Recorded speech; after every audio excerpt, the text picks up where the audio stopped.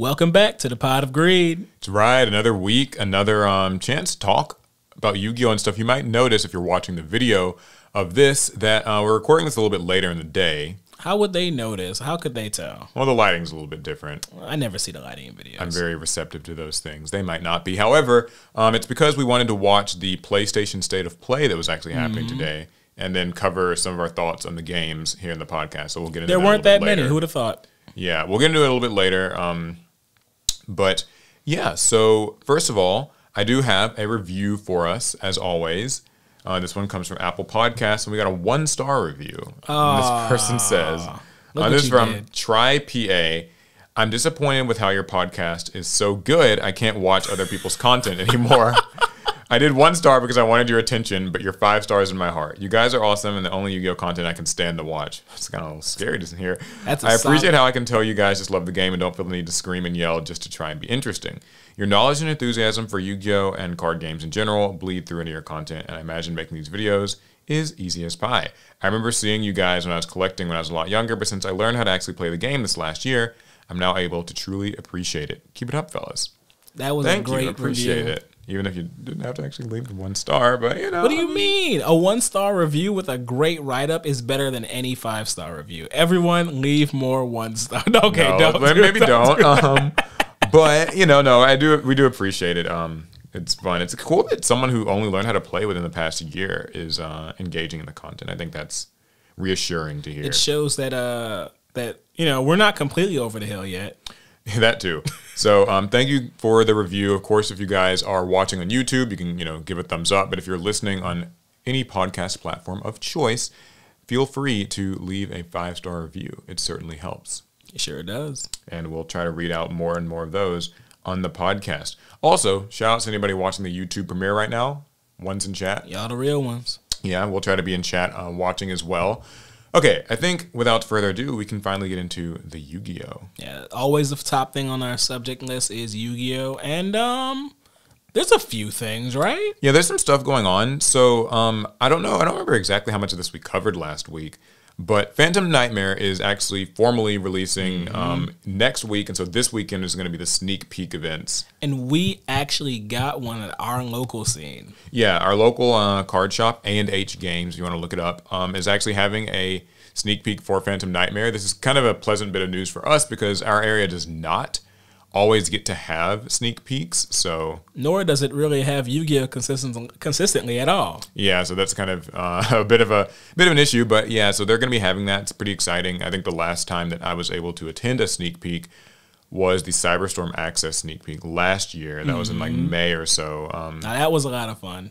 Yeah, so we went with uh, one of our friends, Pheromone, who actually did a video with us recently too. Flame Swordsman versus Gaia the Dragon Champion. I remember that was a sneak peek where I lost every single round, but I won two drawings.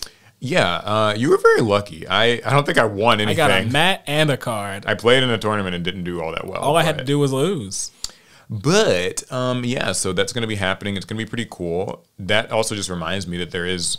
We pretty much have like the final, you know, rarities and everything Mm-hmm. for Phantom Nightmare. Um, seems like it's going to be an exciting but less expensive set than Yeah, it does seem like Konami's taking it a little bit easier on us. Uh, a lot, the, a lot of the cars that we were most looking forward to, well, us like sinful spoil players, uh, they actually didn't get secret rare treatment for once. So Yeah, Yay. that's pretty cool. Um, I was actually going to pull up this rarity list, but something I hadn't seen is some of the TCG exclusive like import stuff. Have you? Oh yeah, they um th- those got revealed by YouTubers, and I don't know if I have them all, but I want to draw attention to a Psychic Processor. It's a, uh level three effect monster.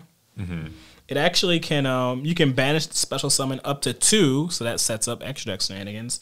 Machines, psychics, and or cybers monsters from your hand, and they can attach they can attack directly this turn. I'm not 100 percent sure um, why you'd want to attack directly, but it is cool to like to kind of have machine, psychic, cyber support when those three types all feel kind of similar. Yeah, they all feel like they're in the same same vein. and then there's up. I clicked something and it went away. Oh, there we go. There was also Psychic Arsenal, which I feel like is in the same vein here. I think a lot of the psychic cards that I saw that are like uh, imports or whatever have um or not imports, I guess they're like new cards or whatever, Mm-hmm. but like they have the life point paying effects. Yeah, this one uh, you pay life points equal to one of your psychic monsters level, and you add a machine monster. So Yeah, so these are all these are all really cool because it kind of harkens back to the early psychic days, if you remember, when the psychic type was first introduced into Yu-Gi-Oh, Mm-hmm. and um, they all like paid life points. That was their sort Yeah. of defining gimmick.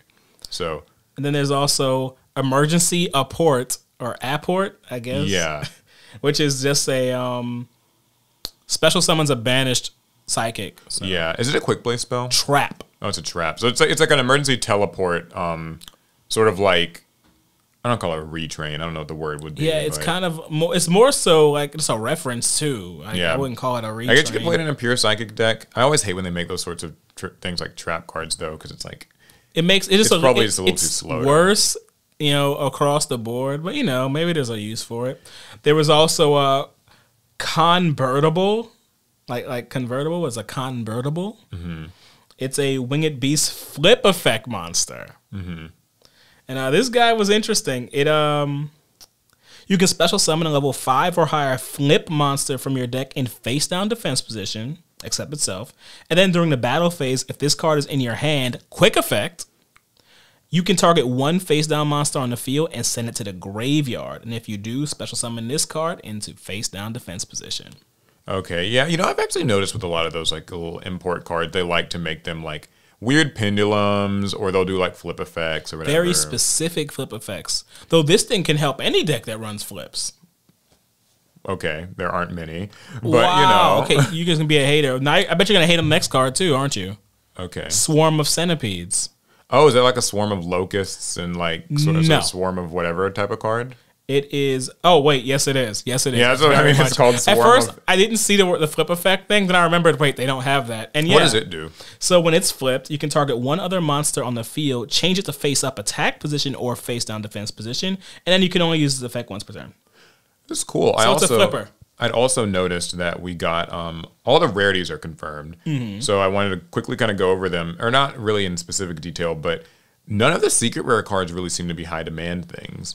There's um, like Veidos, that's that like Ashen thing. Oh, Um, okay. I was like, who? yeah, well, it doesn't have Ashen in the name, but Yeah. Veidos, the eruption dragon of extinction.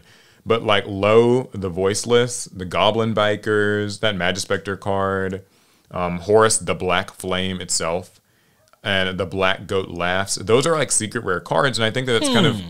yeah, it's kind of interesting because most of the high demand stuff is actually ultra rare. That's like your um, obviously you know there's like Promethean Princess, but also Right. um, Poplar, Snake Eye Poplar.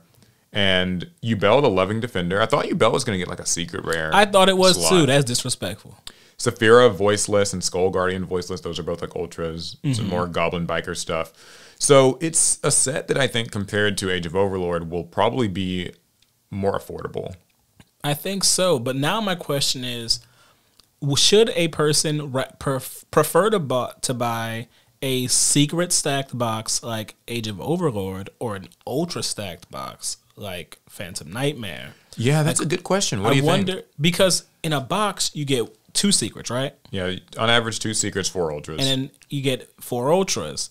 If if a box has multiple secrets that are desirable, and you, but you only get two, like yeah, might that- it be better if the ultras are like generally more desirable cards? because you're going to pull double the amount of ultras. a tricky question because um, some people would prefer that boxes have high val- like a lot of high value secrets versus a lot of high value ultras. Don't know where I land on it, but I think this sort of a box is probably a little bit more desirable for people who like to buy singles, mm-hmm. and I think a little bit less desirable for people who like to buy sealed product, since like, well, it depends on your what you're buying sealed product for, I guess.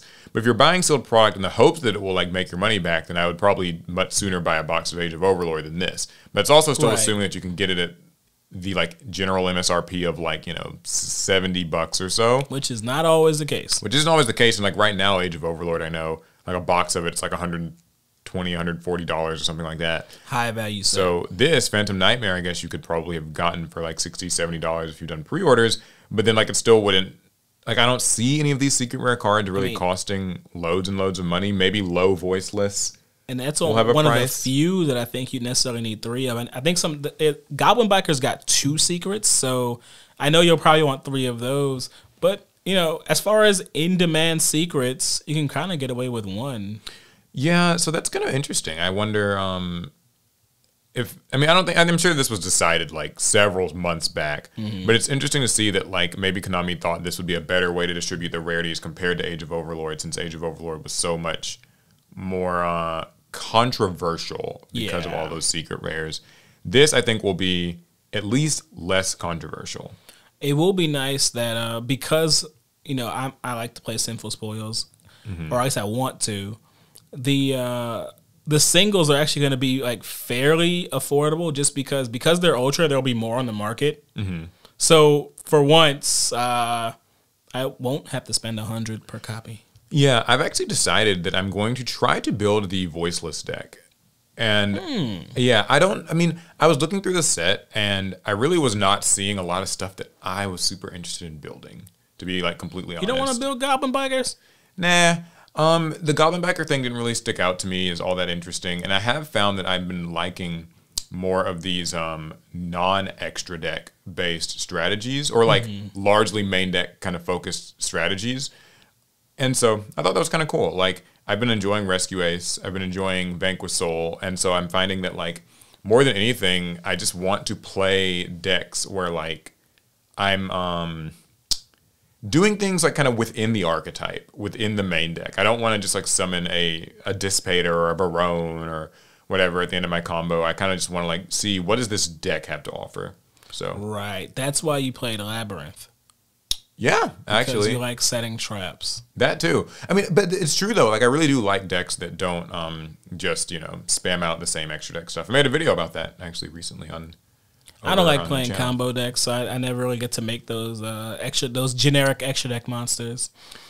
Would you believe me if I said I don't think I've ever like synchro summoned a Baronne in my life? I could believe you because I haven't. Yeah, like I don't think I mean it's like it's not for lack of that. like owning it. It's just like I do not like decks that summon it because most decks that summon it, it's not like like the only time I'd want to summon a Baronne, and this is gonna sound very you know Yugi boomer of me, is like if I was playing a Fleur deck. I, you know. I was working on one of those. Yeah, I remember I you got to build every it. card, then I couldn't get a Baronne, and I was like, you know what, screw this. Expensive. But um, I have a Baronne now, and uh, thanks to Rarity Collection, it. everybody does. I, oh, I had one before then too. Yeah, I don't want to ever like. I, I really, I just, I, I'm getting more and more tired of those boring extra deck monsters. That's just me though. I would say I'm getting tired of them, but I have never used them. I've never summoned a Dissipator. I've never summoned a Chaos Angel. I haven't, I haven't, I haven't summoned them. I haven't even summoned an Access Code Talker. Come on, Paul. Where's my Access Code Talker? Yeah, that's true. You know, like that's uh that's another card that fits that bill. Like I. I don't like finishing people off with access code if I can help it. Though I think I've done that maybe once or twice. I don't know. I mean, if you get, if you, I mean, I get it. If you gotta win, you gotta win. But like, Yeah, I think that no. To be fair, I think if I was playing in like tournaments more, like you know, physical kind of in person. you beat them with what you have. You beat yeah, them with everything you got. Exactly. I think I would play them more then. But because most of my Yu-Gi-Oh is kind of more kitchen table these days, or maybe getting on Master Duel, um, a lot more getting on Master Duel, I, I I try to avoid those cards because I have more agency in the situation. So Nowadays, uh, there's so many of those 60 card pile decks that is that have the same extra deck as each other. Every, I I keep hearing people say, you know, they love the creativity and Yeah. um, the ingenuity that goes into these decks, and it's like, but it, aren't your decks essentially like 40 of the same cards as each other, and then maybe like 20 that it might be a little different, but then all your extra decks are the same. yeah, I mean, you know, I have respect for people I think who can like pilot those combo decks under the high pressure that like a YCS maybe mm-hmm. delivers. Like it seemed like that would be really difficult to do in like day two, right? Fair. Where like everyone's playing at like the razor's edge, and you know people know every combo and they know every choke point, and like there's just a lot of pressure and stuff. But at the same time, like the, I'm, I don't love combo decks too much, and I don't love the same extra deck monsters showing up in like my plays. But I guess you could argue if you're playing like a main deck deck, I'm like I'm always summoning Rescue Ace Turbulence if I play Rescue Ace still. Ugh, it's all you do. All you don't do is set three. Yeah, four. Four. So you want to set four. yeah. So I don't know. Um, it's just, it's a taste and preferences thing. But either way, Phantom Nightmare looking pretty cool. We'll try to get out to our sneak peek, I suppose, and I'm gonna try. report back to you guys next week. With, Hopefully with a mat. Yeah, with our findings. Yeah, hopefully you'll get a mat and I guess poplars. And I'll hopefully get um, some voiceless guards. Look, if and if I don't get them, that's cool. The proxies are on their way. Yeah, that's true, isn't it? They- Look, the order's been in. I'm just waiting. I also figure this is a pretty good time to announce that we're going to be attending um, an event called TCG Con in Houston. Oh yeah. That's on February, I believe, the 10th and 11th. We are going to be attending as guests. If you guys happen to be in the Houston, Texas area, or just kind of the general Texas area, willing to travel a couple hours, you can attend the event. And if you use the code APS when you check out on their website, you can actually get 20% off. I was asked to uh, remind you guys about that. So, just So a cool thing. to Go ahead, catch us in Texas. We're gonna be trading. We're gonna be dueling. You know, we'll be doing the whole thing. Yeah, it'll be fun. You'll be able to. Um, it'll be me, Alec, Trell, Larry, and Chris will all That's be there. right. And this will be the only way I can play in a Digimon tournament. So I'm happy. Yeah, not too many Digimon tournaments, but maybe they more happen. of that later. I just can't get into them. Okay, so that's Phantom Nightmare. Now there hasn't been like a lot more TCG news. I did see that um, some remote duel events were happening the past weekend. Mm-hmm. Um, I don't know if that was like remote duel like camera. I know that they did speed duel, duel links, and master duel remote duel events. Right. Unfortunately, that's like all I can really say. Like I want to say I saw regional lists going around, but all I can say for sure is I saw topping lists going around. I, I thought they were regional. I checked. There were a couple more. The last of the Age of Overlord regional season was, was this past weekend as well. so I did so- see regional lists. Okay. So Yu-Gi-Oh's kind of it's in full swing. Stuff's going on. Cards um, are being flung. Weird decks are winning. Did you ever play in a remote duel event? I know you've done some for Digimon. No, I've never done a Yu-Gi-Oh remote duel, mostly because I never I did not feel confident manipulating a deck on camera. Okay. I, you know, I've played in a few YCSs, you know, just a few. And I tend to make mistakes that uh wouldn't be that wouldn't look good on camera. Yeah. So I, just, I didn't want to put myself through that. Yeah. What sort of mistakes, maybe? Hmm. I just look. I don't want to get DQ'd. You know. Yeah, tha- that's known to happen. I I think like for me, I've played in a couple of remote duel things. I remember playing in the very first like kind of remote duel invitational thing that they did. I remember that. That was very fun. Uh, I had a pretty good time with that. But I played in like one other remote duel event that I can remember. Um, and it didn't go very well for me. I, I think I'm just not very comfortable playing like, which is so what's so weird. The Yugi tuber isn't like comfortable playing on camera, but I'm not really very comfortable like manipulating physical cards like without an opponent across the table from me. It's so The- weird. What the strange part to me, because I've you know I've done Digimon remote and uh, or I've watched Yu-Gi-Oh remote, and I don't know how you can really play. I- I know that people do it. I don't know how they do it because it's such an interactive game of reacting to what your opponent's doing, reading their cards, and but they're not there. Those cards are not in front of you. Um, So the thing I was gonna say, it's the reading part. Yeah. that, that just like baffles me because like I can see how maybe somebody could play like I guess Magic or Digimon. I don't play those personally, but like I feel like those don't have as much like pick up your opponent's card and read it. Would I be correct in assuming? I mean, it, it can happen, but there's not a lot you can do during your opponent's turn. So the only thing you have to Yeah. confirm is are they resolving their effects properly? That's it. yeah, with Yu-Gi-Oh, there's like such a, there's way more of a like need to like just kind of pick up stuff and double check like, in both mm-hmm. turns. So that always kind of turned me off a little bit from remote dueling because I can't like kind of just ask my opponent, hey, can I read the card?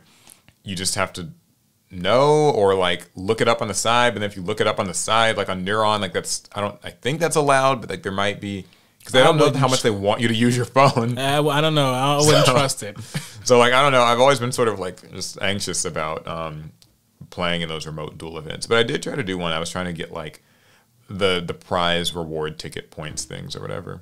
I remember offering to be your duel spirit, where I sit next to you just off camera.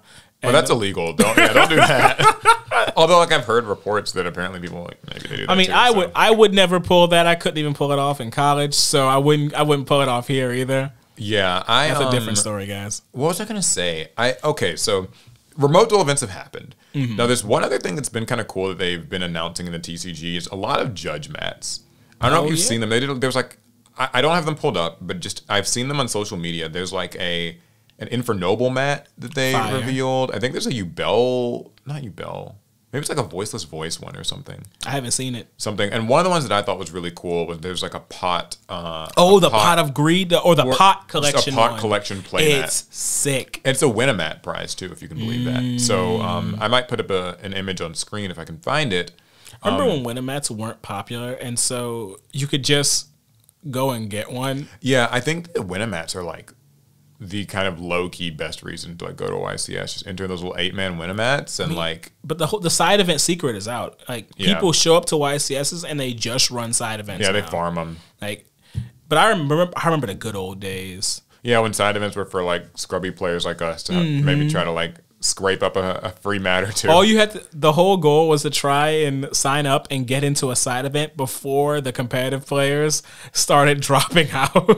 yeah, yeah, yeah, yeah. I've, I've been there. Or if you have a group of friends, you can all like take up a lot of the slots. Run a flight.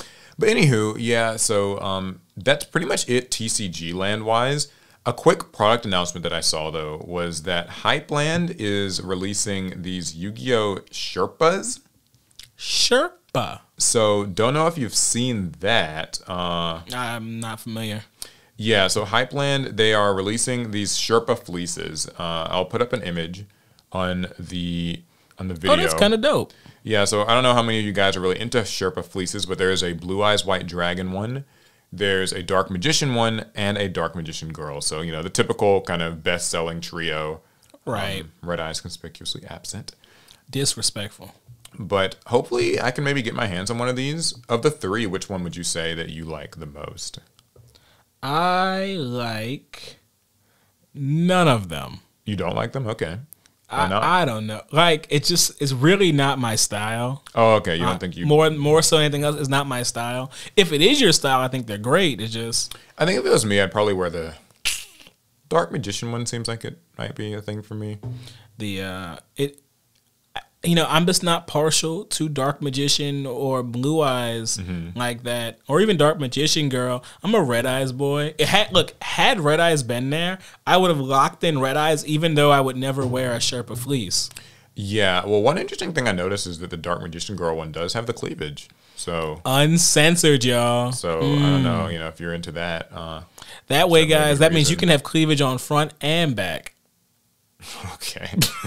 um, so yeah, pick up your Hypland Sherpa fleeces. It seems like they're actually out. Uh, they were out a few days ago, apparently. So oh I, missed I thought this was something that was coming out, but apparently they actually already are out. So, well, now here's another interesting little announcement as well. Um, you might remember last week, Konami had sort of said that there was going to be a quarter century like live stream thing, but they Ah, didn't really give any details. Well, they've presented the eight duelists that will be participating in the Yu-Gi-Oh! Master Duel second anniversary invitational, and your boy is one of them. trail made it in No, no. I'll be I'll be playing in the Yu-Gi-Oh! Master Duel second anniversary invitational alongside Joshua Schmidt, Jesse Kotton, Rhyme Style, C Reacts, Chilled Chaos, Crip, and uh, Paulo Gonzalez. So I don't know all the names on there, but I heard a few that I recognize. That's a strong. That's, that's some strong players. yeah, I hope I got those names right. I was kind of just you know, there's so many pronunciations in the world these days. But the point is, those are going to be the eight people. I think it's going to be a team event like last time. Um, although I. I guess I can't reveal the teams. I already know, so I'm just not going to Yeah, say anything probably, you, about should, you shouldn't say. You guys will probably know much soon. more than what you are. But just let it be What known, What I can y'all, say is it will be similar to last year's event. Paul is a returning champ of the last event. I think that's So- going to be a bit of credit. My team won last year. The team that I was on Paul won. has a trophy from the last one, and he's looking to get a second. I do have a trophy. yeah, my team did win last year. It was largely thanks to Pack, but uh, he's not playing this year, so I don't know if I'll be able to count on him to. This, mean, this means you got to win a game now. Yeah. Um, now it does seem like this is kind of exciting because it's going to most likely pit Jesse Kotton up against Joshua Schmidt, which is That's a- a, that's a sort of grudge match. super duper top level Yu-Gi-Oh rivalry grudge match. You know, best player in Europe versus best player in North America. Um, so hopefully that will get to happen. I think people will be really As a fellow. North American, I know I should be rooting for Jesse, but there's just something about Joshua Schmidt's like personality. that I'm just like, you know what? I'm gonna root for this guy. I don't care what he competes in. I mean, he certainly makes more like content, so I think a lot more people are familiar with him now. That's true. As far as That's like you know what it is, He, he does more. Con- he does do more content. Yeah, so I think this will be really cool. Um, they're supposed to also be having announcements for Duel Links and the TCG. Hmm. I know they did say they're going to be doing like a UDS championship playoff. Yes, the cr- So- to crown the ultimate champion. So that'll be really cool. I think they're going to have like the belts involved. That would probably be really cool if they did because UDS used to have like a belt or something. That will be the sweatiest Yu-Gi-Oh we've ever seen. Yeah, I look forward to it. And it also sounds like from the um, announcement that they're going to be playing anime episodes during the live stream. So it seems like it's going to be like a three day long stream where events like, you know, Master Duel and Duel Link and stuff will happen. And then between those events, players will be able to just sit back and watch some Yu Gi Oh! anime. And that's such a surprise from Konami because they don't seem to be like showing too much anime nowadays. Yeah, it sometimes feels like the Yu Gi Oh! TCG is a bit decoupled from the anime in a lot of mm-hmm. ways. So the fact that they're going to be showing this, I think, is a good way of pulling everyone together a little bit. Like I think that the goal would be to have some casual kind of I remember Yu Gi Oh! as a kid thing where like a casual person sort of sees the anime episodes and they just kind of watch for that. And then they happen to stay for like some of the Duel Links or the Master Duel or the TCG gameplay as well. Make, that makes sense. That makes And think sense. in doing so, they might be like, "Oh, I kind of want to play this again." Like, I, I didn't know Yu-Gi-Oh was still played. So I think in that way, if it works out like that, that would be a good. So it sounds like a fun weekend of Yu-Gi-Oh. I hope there's some cool um, like product announcements that might show up during. Yeah, if we don't get them in that, then we might be getting them at the Tokyo Dome event. That's true because that's coming up either this That's actually like week this or next, next, week. weekend. Um, I need to look up the exact details, but um, yeah, tell us a little bit about the Tokyo Dome. Why that's so Yeah. relevant. Uh, so the Tokyo Dome event that's that's about to happen was announced at our last World Tournament. That was much to the chagrin of a, a lot of Western players because um, we don't really have any connection to the Tokyo Dome or why that's such a uh, momentous occasion and event. yeah, it's February third and fourth, by the February third. Okay. Yeah. So it really is coming up. But um that's because the Tokyo Dome is not known for ever hosting Yu-Gi-Oh events. Except for one time. Paul, do you remember the last time Yu-Gi-Oh was at the Tokyo Dome event?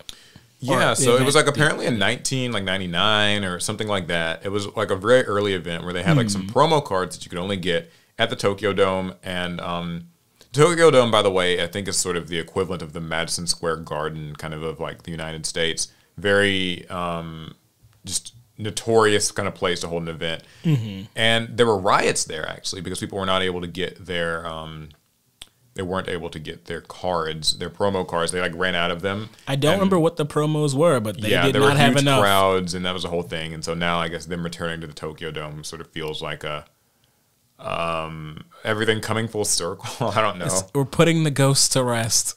yeah, you don't stand a ghost of a chance. But um, no, no, it, it is. It's a very uh, exciting event for the Japanese players, and at least if nothing else, it's an interesting event for us TCG players. Just There'll, because, see, there'll be some product announcements. Yeah, I'm like I'm pretty sure we're gonna see product announcements. Now, granted, um, most of those product announcements would probably be OCG focused. Would be, I mean, you know, Hey, seems like that's what we- thing. we're always watching those anyway. yeah, but we're still always watching that, and so that means we'll probably that might be where we finally get the information on um, Infinite. Uh, what is it called? Infinite Forbidden. Infinite Forbidden or any other large Yu-Gi-Oh projects we might be working on. That could be anime, video games. People are fingers like- crossed. People are thinking that there might be something like you know a master rule announcement or something. Oh, I hope somehow not. doubt it. What would they do? I mean, Because I, I feel like they've more than learned their lesson about adding in extra like card types just for the heck of it. Looking at you, pendulums and links. Yeah, frankly, I don't think I really want to uh, get like a new master rule or anything. But I will certainly be watching the Tokyo Dome event. Um, hopefully, there will be something exciting to see, you know, that goes on there. So, uh, yeah, that's pretty much kind of our TCG news. Digitally, there's a little bit going on in Master Duel, uh, specifically like two things. So, um, last week they actually released a new ban list the day that the podcast went out, so we weren't able to talk about it. It is very short, um, extremely short actually, so short that it's really not worth. I mean, I don't think there's So much they to didn't say. hit hit. Uh, so they didn't hit Maxx C. No, no, no, of course not. But um, they instead have limited Bystial Saronir, which is one of the cards in the Bestial engine. Um, an interesting one, it's the one that lets you send a branded card to your graveyard. So pretty useful in the branded deck for sending your branded fusion to the grave or also sending yeah, I know you're probably not super familiar with this stuff, but it's like sending um uh, what is that one branded trap? The, the branded trap lets you recycle other branded cards.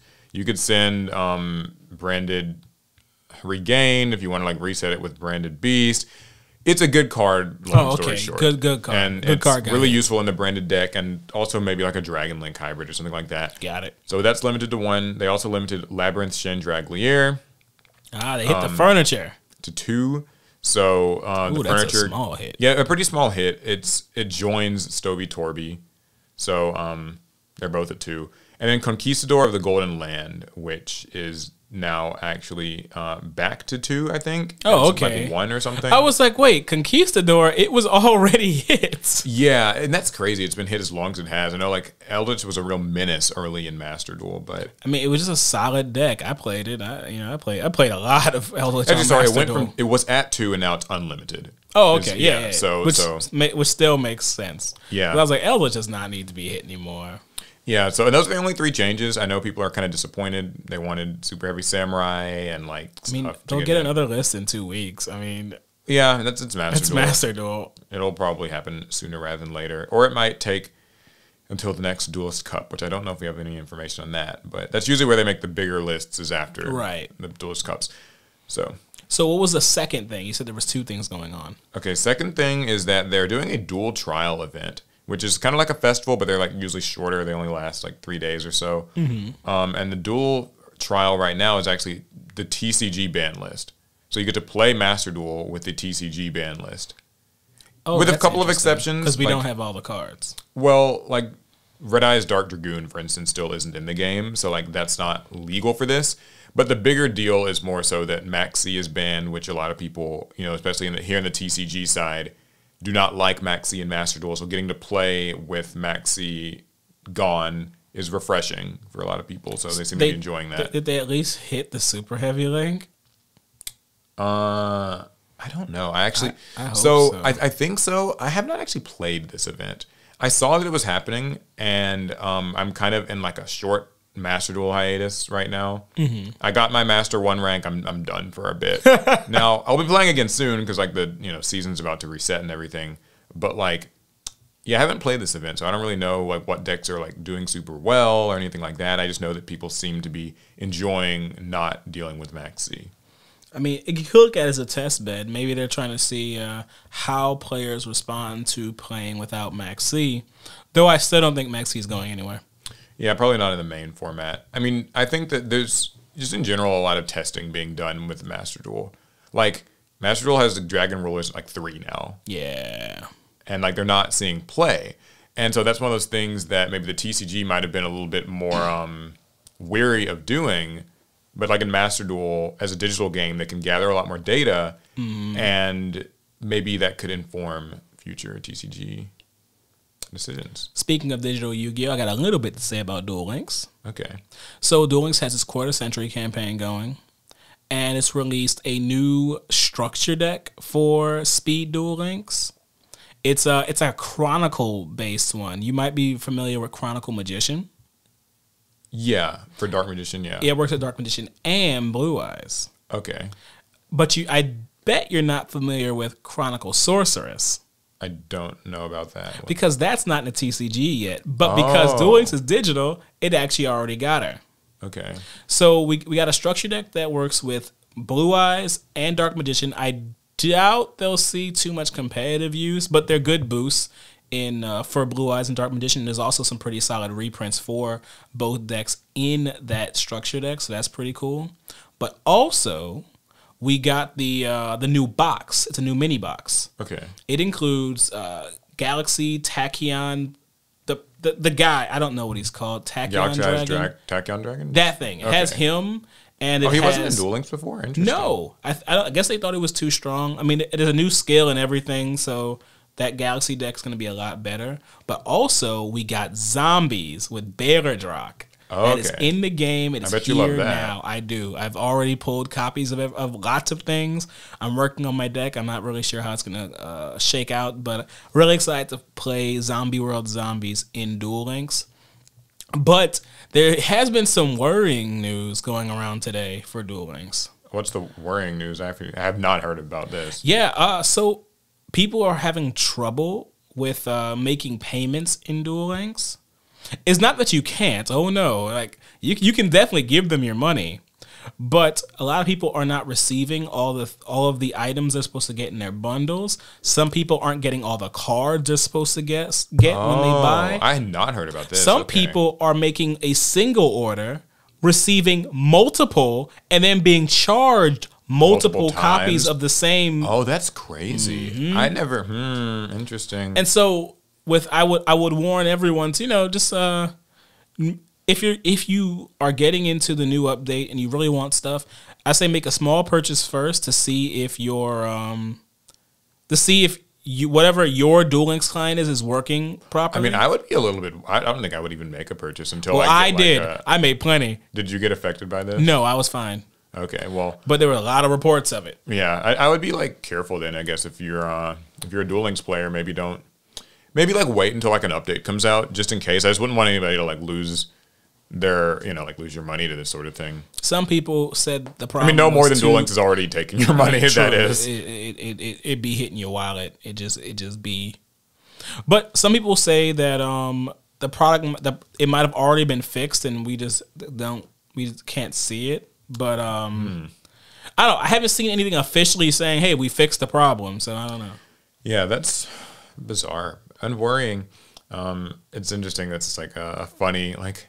There's a problem Mm-hmm. with monetization. Konami's not getting enough money, and we we have to fix this. I just thought it was funny because at first I thought it meant people were getting things for free. I thought they were putting in like five dollars and getting like fifteen dollars worth of stuff. Yeah, have you ever noticed that never happens? Whenever there's like a whenever there's like a financial thing like with companies, it's never um, it's so rarely like oh I put in like you know ten dollars and got a free TV. It's always like I paid for a TV and got nothing. Or like I, you know, They triple charged always- me. Oh no, they, yeah, they charged my card twice, and they don't know how it happened. I had to go through like three customer service calls to finally get it resolved. But um, hopefully, Duel Links can resolve that. That would be that would be good. You seem like you've been playing a little bit of Duel Links lately. How's that been? I have been. It's been. I've been having a blast. A lot of. I've been doing a lot of rush duels. Been doing a lot of speed duels. Um, because I don't play often. I have a lot of like grinding to do as far as like leveling characters and unlocking, uh, leveling my worlds and unlocking characters and leveling them to get all the cards that they have. But it's been a it's been a good time. It's been a good time. I actually have it right here. Oh, the phone's off, but it, it was right here. Yeah. Oh, that's cool. I'm glad you're playing Duel Links. It does always feel like Duel Links is uh, just in such a weird spot. Like I just never. I'm not like I don't see a lot of people, you know, making the content. I've pointed this out before, but it does seem like the game itself like is doing fine. Duel Links has content creators, but it is certainly in a niche unless you're a part of like the tournament Scene. from the the crypto money circuit thing they got going on. That's Oh yeah, that's like the kind of the Decade does. yeah, that's for the most part that's what Duel Links is. The now, if you travel like south and you go into South America, you actually see there's actually a, a very large uh, like South American audience too. They have their own creators. I was Yeah. watching a video today in either Portuguese or fast speaking Spanish. I couldn't tell which. My my Spanish is not good enough, but um, they have their own creators. I know I watch a lot of Ren and Sparrow. I know he um, does a lot of Duel Links stuff.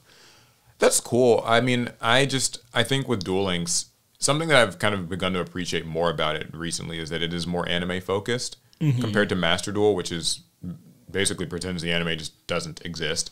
So, um, and I, I mean that's by design, but it's kind of cool to be able to like play with your favorite characters. It, I, I really enjoy it. I mean, I didn't even watch Zexal, but for the first time, because I was trying to unlock cards, I triggered Yuma and Astral fusing and to make their like Zexal form, and that was really cool. That was, that was actually really exciting.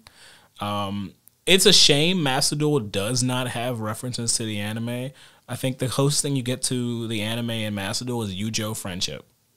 Yeah, I mean, I think it also just shows to some degree though that like the TCG kind of wants to be its own thing, like Mm-hmm. kind of seen as its own thing. We've talked at length about how like Yu-Gi-Oh sits in this weird spot where it sort of utilizes the anime imagery, like the kind of the Yugi, the Kaiba and stuff you know, Mm-hmm. and yet the TCG itself is largely divorced from them.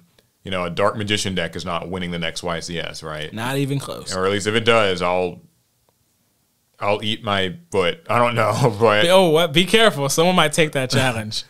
yeah. So I don't know. I think like that's kind of one of those uh, one of those weird parts about Yu-Gi-Oh. But Duel Links does not seem to run into that problem. It still uses Nope, the characters still use the first and anime. foremost.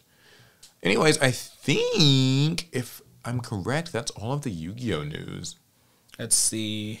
Unless you have seen or heard something that I have not. Nope, that's it. We covered what I had.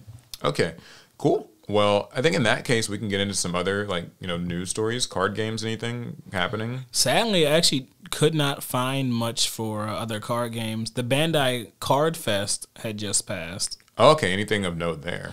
I don't. I actually don't know. Um, there is very poor tracking of Bandai's announcements. What was it called? It's like Bandai Card Fest. Like I guess it'll be Bandai Card Fest Yeah, Bandai- 2023. It's a part of their world tour, I guess, where they're holding all the nationals for their card games. That's uh, One Piece, Digimon, Battle Spirits, and, and I guess in, in other regions. Be Oh, okay. games. Yeah, Bandai Card Games Fest 23, 24. Um, The- so yeah, this was happening, I guess, this past week, and I just wanted to see if there were maybe some announcements that. I mean, I st- I saw I saw pictures.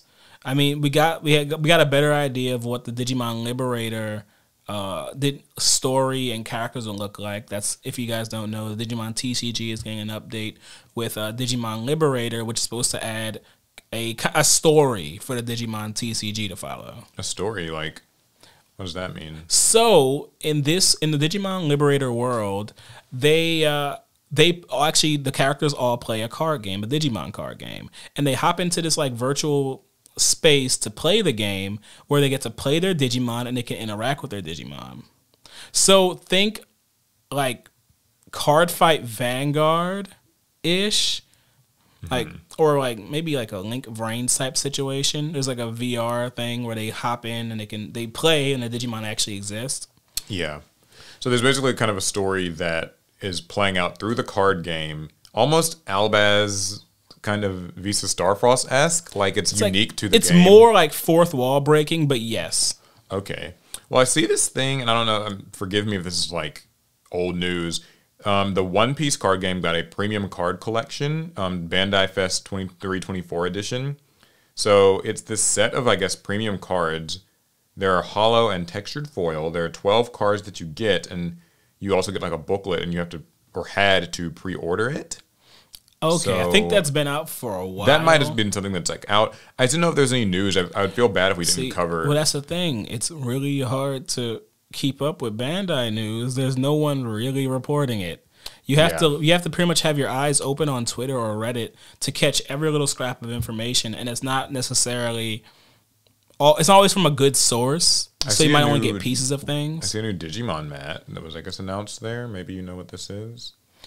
I don't think that is that mat new. Yeah, they say it's new. It's Oh, official okay. card game. I've seen artwork edition. before because that's the um. And pre-orders only just opened, and Oh, they okay. close on March first. So uh, so there, there was a new mat on Premium Bandai. I guess we're gonna apologize. Then we just really aren't on top of the Bandai news. But I mean, but how, someone how here you're just saying Yeah. how could we be? Because the thing is, this isn't for lack of trying. I tried to get a, a good amount of knowledge from this event, and it was hard to do after the event ran.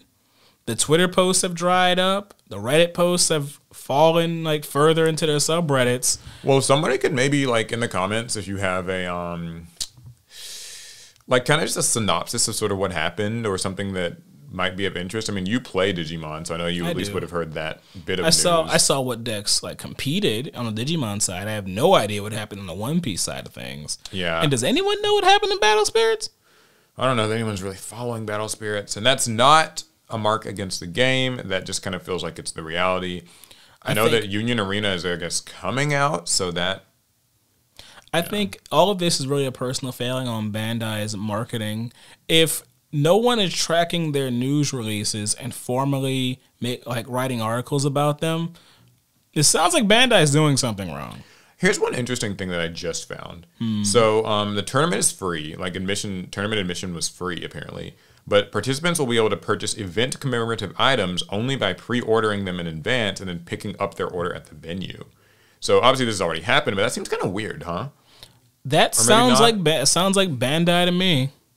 Yeah, it's kind of weird. Like I, I, just, I guess like I would think that going to the event would be enough to be able to like pick up your No, they gotta monetize. items. What you mean? Well, no, it's, it's not the monetization I have a problem with because like you have to obviously buy things at any event like this. It's more like you had to pre-order your thing and then pick it up at the event, and that just rubs me. They didn't want to have too many. way.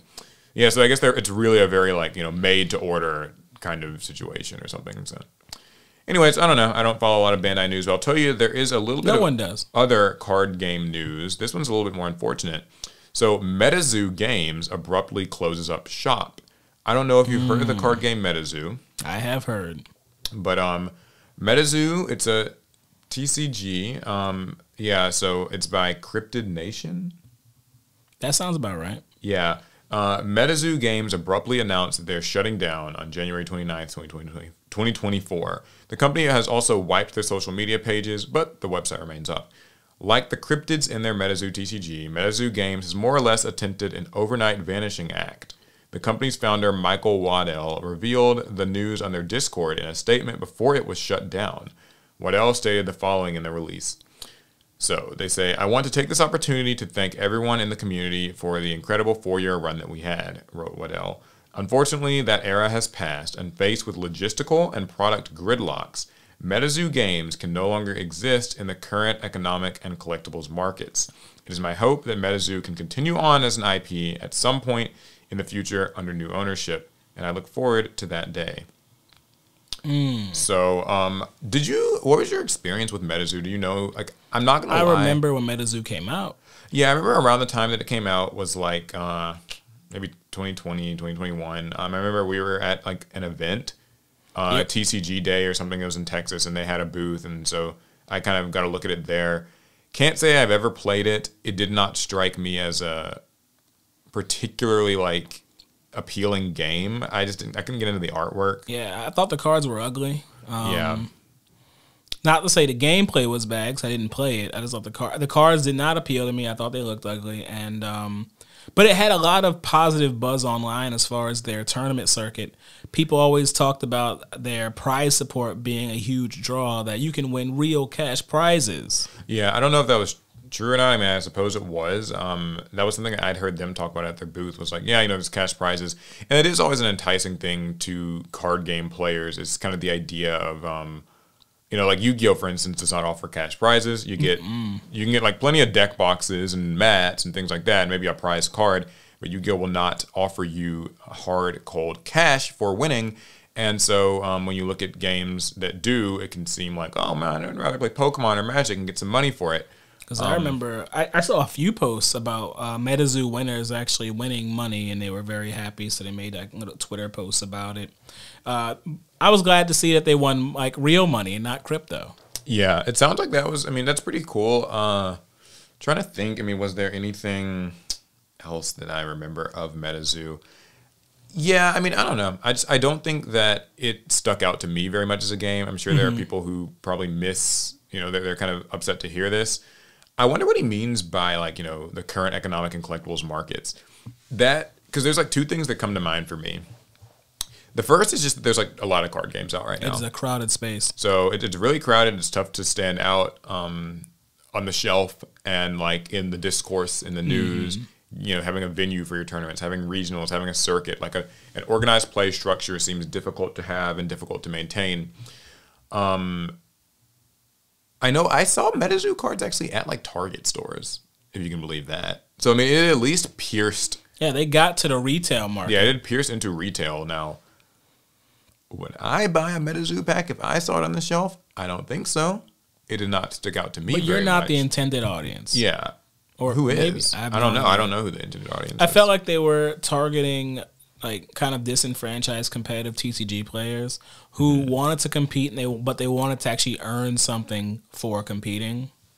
Well, MetaZoo was a, one of a handful of TCGs that gained popularity uh, during the COVID 19 pandemic era. They gained significant traction in the hobby games market in August 2021, where they managed to break the top 10 on the TCG Player sealed TCG product chart. Prior to appearing on that chart at number 7, the company had gained superstar DJ Steve Aoki as a full equity partner. Oh wow. Um, more recently, MetaZoo Games had licensed Hello Kitty for the Kuromi's Cryptid Carnival, uh, which is like a crossover set, I think. Oh okay. Um, so they, had, I mean, it sounds like up So until they mean they were recently, making they were doing moves. stuff. Unfortunately, the abrupt end to MetaZoo Games and the complete erasure of the company's social media pages leaves more questions than it answers. MetaZoo TCG seem to be moving right along through the end of 2023 as Kuromi's Cryptid Carnival had recently hit Target shelves, a set that had also snagged a spot on the TCG player chart in October.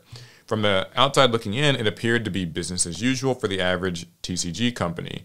The statement announcing their closing mentioned that more information would be released via their Discord channel when it became became available.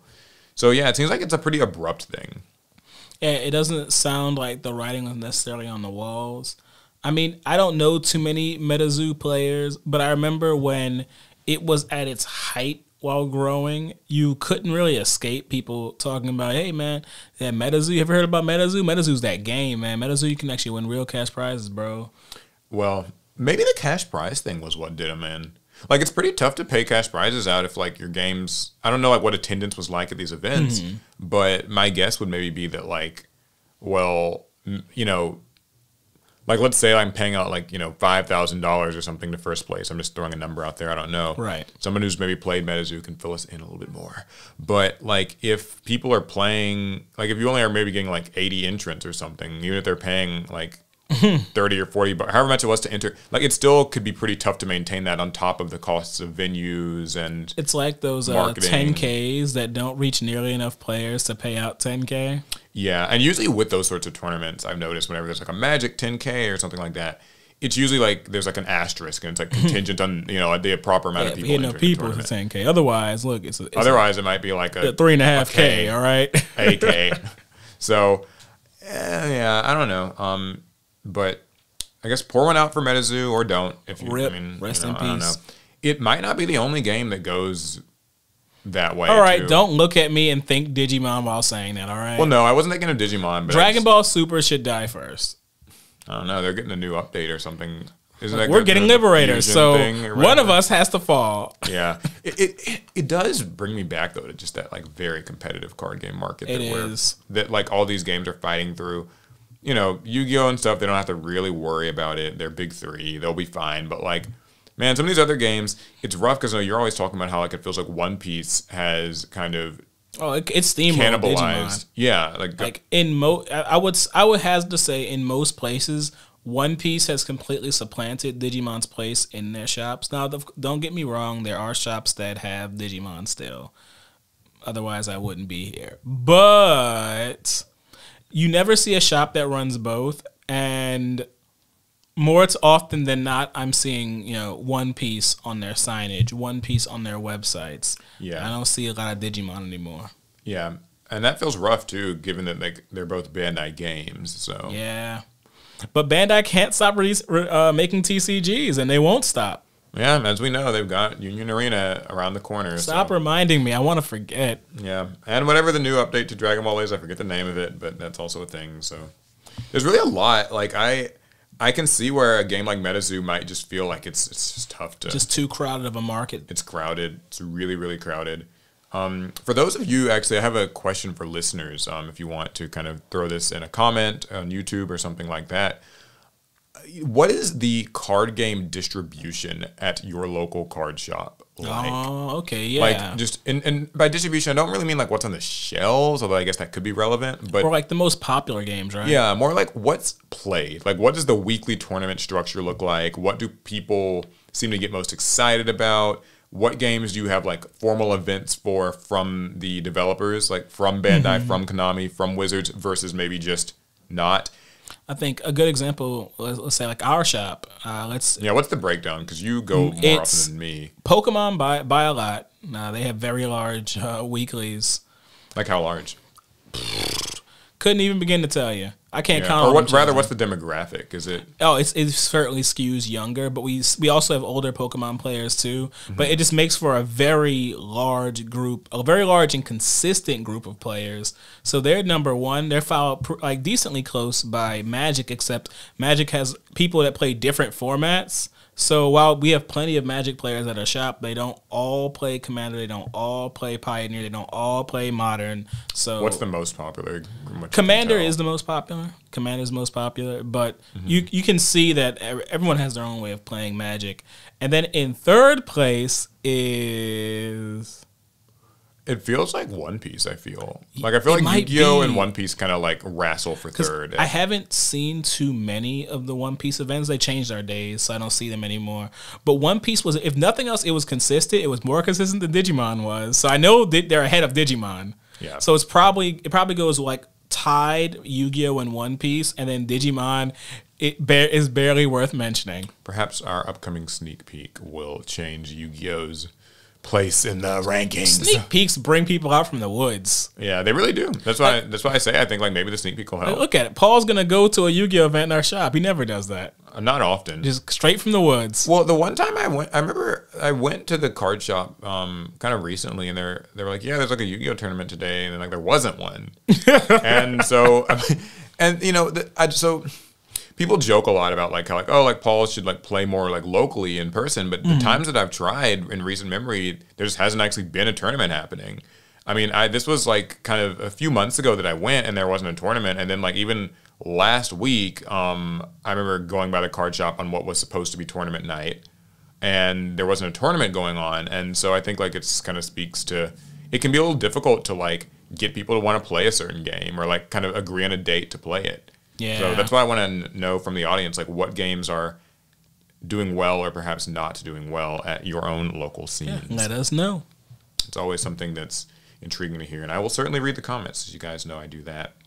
Anyways, though, yeah, shout outs to MetaZoo or not. Um, might not be much more to talk about with them, but maybe someone will pick it up in the future. That's what they suggested. That's the hope. in their post.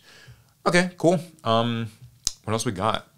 So I I have some gaming news and not necessarily card gaming news. Okay, is this like state of play or just? No, uh, this is just this is just uh, something I picked up last week after Okay. the pod. So Activision's Call of Duty general manager takes over as president of Blizzard. Oh, okay. So what does mean? I don't follow these things. so I mean, you know how Blizzard's had their uh, Yeah, people don't like Issues. Blizzard. They've People don't like Blizzard. They don't like Activision. Well, they sent over the GM from Call of Duty to try and save it. And I don't know if that's a good or a bad sign.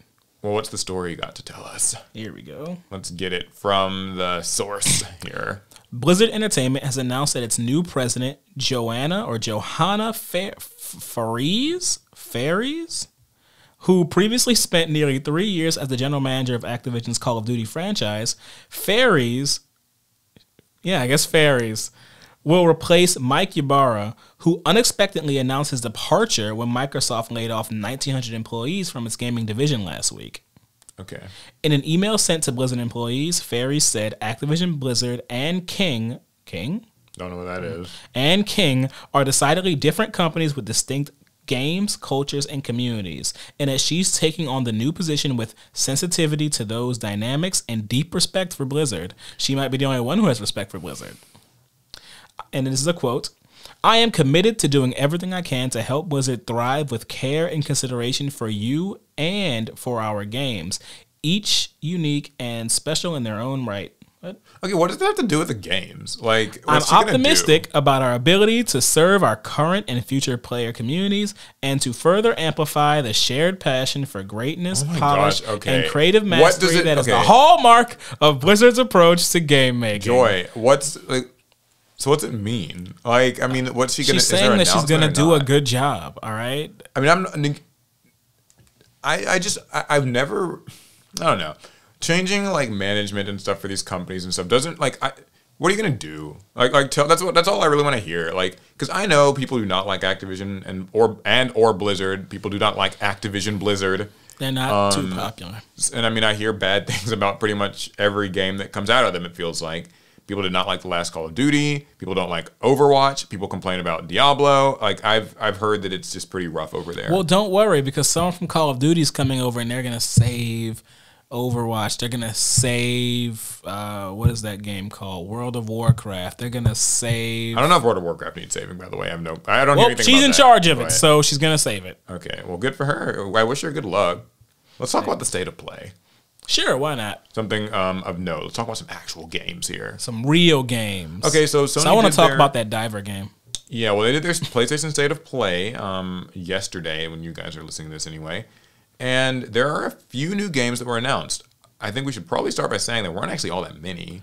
I thought there'd be more, given that this is a state of play. They're supposed to give you the state of PlayStation, and it seems like they're not working on all that much. Yeah, there are only like eight or nine games announced, maybe something like that. Um, we'll take them one by one. So I don't Okay. perfectly remember all of these, but I did watch the trailer. So there was um, that really cool new game.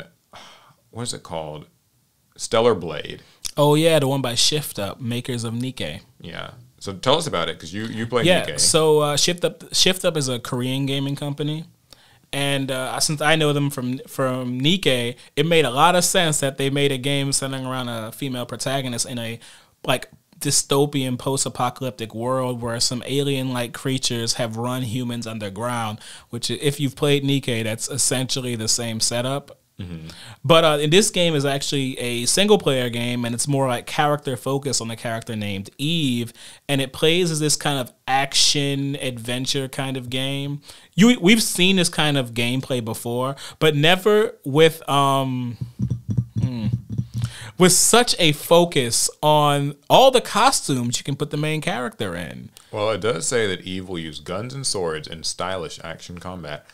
very stylish. Very. Yeah, I mean, I so when I saw this, I thought it looked pretty cool. The graphics looked great. Yeah. it was ref- it was kind of refreshing, I guess, to see um, kind of just I don't know, like something that it wasn't like a completely like gritty world thing. Like obviously it's, it's apocalyptic, Mm-hmm. but like I guess it felt more like kind of watching like an anime ish Right. Vibe that, on it. That anime vibe where it doesn't feel like realistic. Yeah, it's it's not that.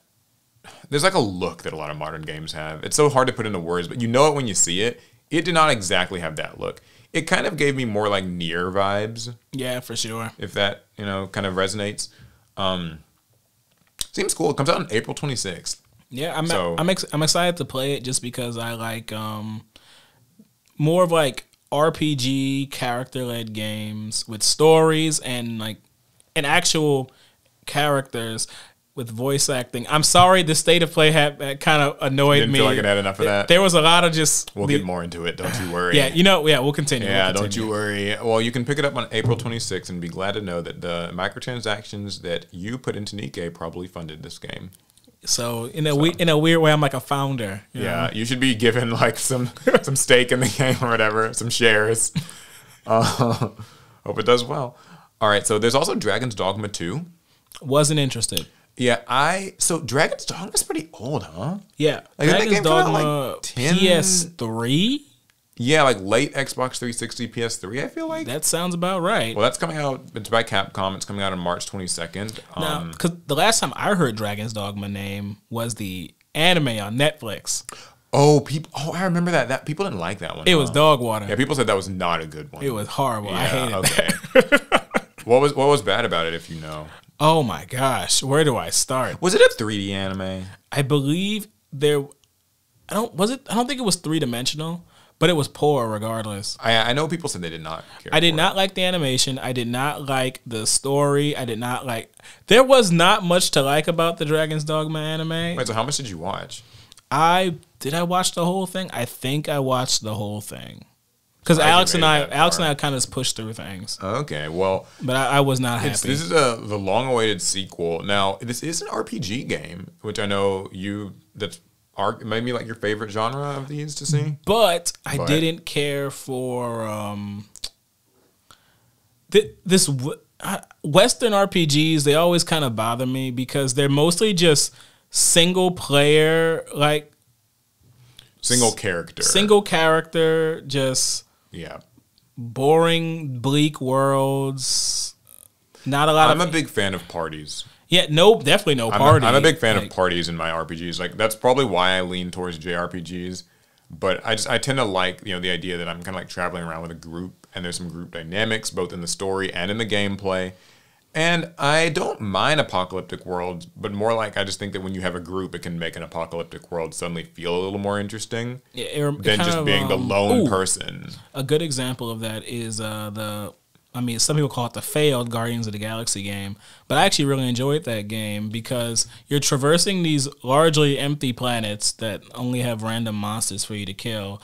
But the whole time you're running around with the Guardians and they're just bantering and bickering the whole time. And I enjoy stuff like that. Yeah. Some people said they, that all the chatter annoyed them. I was like, no, this is the whole point of the game. Yeah, um, yeah, I um, I agree. I think that having some people chatting helps me get more into the game. I know that's something that I've liked about like Final Fantasy games, is just like having group dynamics. So, Oh, not in 16 though. yeah, not as much in 16. I think 16 could have used. The, all the chatter I can remember in 16 was get him, Torgal. Yeah, I think 16 could have used a little bit more of a. Yeah.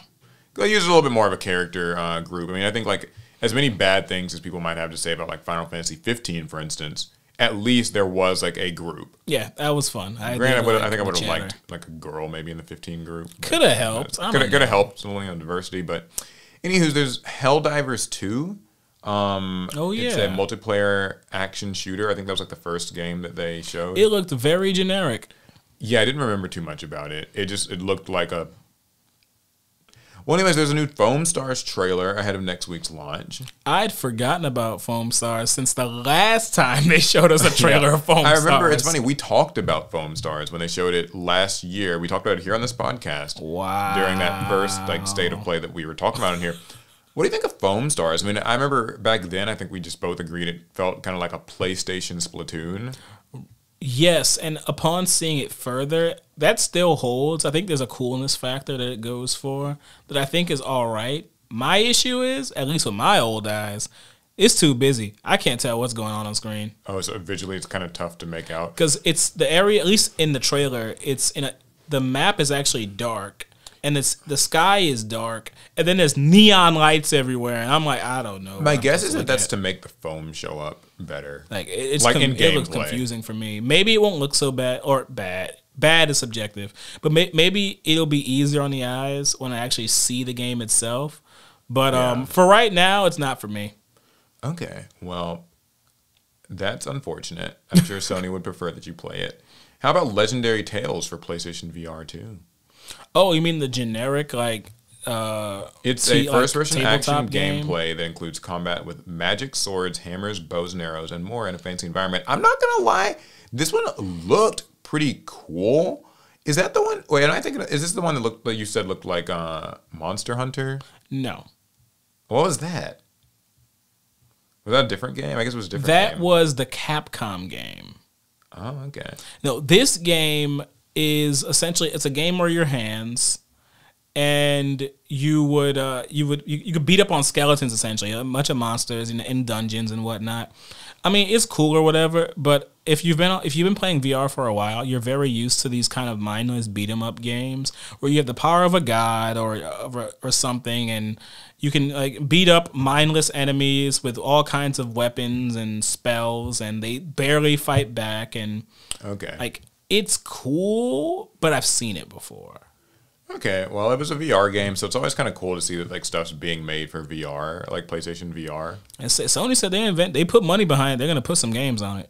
Yeah, I mean, you know, there was like I remember a uh, like a survey or something that said that most VR games are like on like the or most people who play VR play on PlayStation VR. Right. And that makes sense because it has the largest install base. It's the Mm-hmm. easiest VR thing to just buy because it just works with your PlayStation as opposed to like um you know having to kind of get like an Oculus and that's like a new ecosystem. Meta. A- yeah. Meta A Quest. Meta Quest, sorry. Yeah, and that's like a new ecosystem to ask people to And only recently into. did they start offering um, like first party support for Steam VR. Yeah. Before now, they expected you to hop into the uh, Meta Quest store, and that was the that was going to be your your app store. Yeah. Well, how about this new HoYoverse game, Zenless Zone Zero? I mean, new is a stretch. We've known about Zenless Zone for quite a long time at this point. Well, today we learned that it's in development for PlayStation Five. Oh my So god! should I mean, I guess more that's. appreciative. I mean, it's cool if you're a, like a HoYoverse player. I mean, you, this game was they make? They make Genshin Impact okay. and Honkai Star Rail, and also Honkai Impact Third, which is uh, which is a the mobile game that was before all of this. All right, so tell me more about this. Then you're gonna It's be playing. Um, I might try it. I mean, because these games are all they're free to play, so there's no harm in trying them. But it's an it's like an action it's an action RPG style of game. It has this kind of a cyberpunk anime aesthetic going. It's not like Honkai Star Rail, which is turn based. It's not, but it's also not like Genshin, who's who has much uh, simpler combat. I think Zenless Zone is supposed to have more um, like combo oriented combat. So I think it might just be more engaging for people. There's also Dave the Diver, which actually uh, released last year and is just going to be coming to PlayStation this April. So it looked like kind of more of, I guess, like a 2D. Yeah. While not like exactly my cup of tea, I will give it this.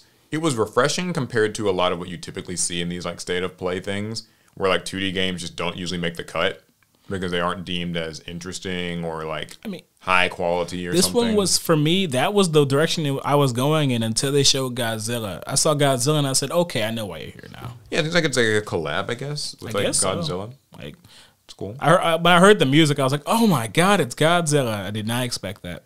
V Rising. Oh, the vampire game, Yeah. the kind of a That- top-down Diablo esque That play style. interesting. Um, yeah, it reminded me of Diablo, which I guess is cool. I but as usual, I don't care for these quiet games that have one character. Yeah. Um, there's not even really like a blurb on it that they have, at least in this article that I'm reading, but um, it looked neat. I mean, I think that like playing as a vampire is cool. If it plays like Diablo, which it looks loosely like it does, I could be interested in playing something like that. I like Diablo three. Which for me, that makes it a hard pass because I don't like Diablo games. oh, you're not a fan. I don't know that the whole top-down thing. I can't get with it. I can't do it. I don't know why. Okay. What about the vampire aesthetic? I know you like your vampire stories. I do still But top not down. enough to really, It's- like, sway I don't. you. I don't know why. I remember I used to play that old game like Gauntlet Legends on arcade and on PlayStation Two, which is a top down game. Yeah. But pretty much anything other than that, I, I I just don't. I just don't care for it. Third person takes me out of it, which I guess you're literally out of it because you're looking down on all the action. All right. Well, maybe you'd be more interested in Judas. That was that, that had a really interesting trailer. That was the one where the people were taking the weird selfies and like it's like they're listening to everything that you say. Yeah. I don't know what was going on in the gameplay. yeah, it's the next game from Ken Levine, the creator of Bioshock, and it definitely resembles his original work. It looks like a colorful dystopian game with first-person combat. It said fix what you broke or something, save what you something like Yeah, that. something like that. So uh, my assumption is the uh, the girl you see who's like doing she's doing something that's supposed to break the system and free everyone despite wh- wh- whatever they want. And then it just now you're just fighting and I'm assuming she has to save the world by fighting all these strange things. That's certainly an aesthetic that I think uh, people will enjoy. I won't, so I won't be playing it, but I know that other people will like it. Interesting. Well, there are other games. We got Sonic X Shadow Generations. This one, uh, I was really excited about. I'm a huge Sonic fan, so I know there had been like some rumors that we would be getting a Sonic Generations remaster of some kind, kind of similar to Sonic Colors Ultimate, um, that came out a couple years back. But I think this is really exciting because Sonic Generations is one of the better received Sonic games of the last, you know, couple decades, really. I became interested when they showed Shadow. Yeah, and Shadow's in it this time. I love the way that he interrupted the trailer. I thought that was it was because they were literally using the same identical trailer from Sonic Generations, like you know, 15 years back almost now. And then like Shadow just shows up and like kind of jumps between them, and then they make like the pose from Sonic Adventure 2 where like they're crossing, and it's cool. So it seems like we're gonna have like a lot of the same levels from the original game, but then there are also new levels where Shadow takes kind of takes the lead, and it seems like he's fighting against like the Black Arms from the game Shadow the Hedgehog, like back in like 2005. I wonder if that'll be a retelling. If they'll be like just kind of retelling the events of that game, given that it's it's we've been far removed from Shadow the Hedgehog, or if it's going to be like a new story. I think that they're gonna just retread some ground and like maybe it's some of Shadow's history as well as Sonic's history. I also hope for more things from the game. Like I'd like to see more levels because mm-hmm. Sonic Sonic Generations is a very fun game, but it's a very short game. Mm. And for a game that's supposed to sort of celebrate a lot of Sonic's history, it's a shame then that it only really had more like of it. nine levels, and I think like that could literally be like doubled by today's standards.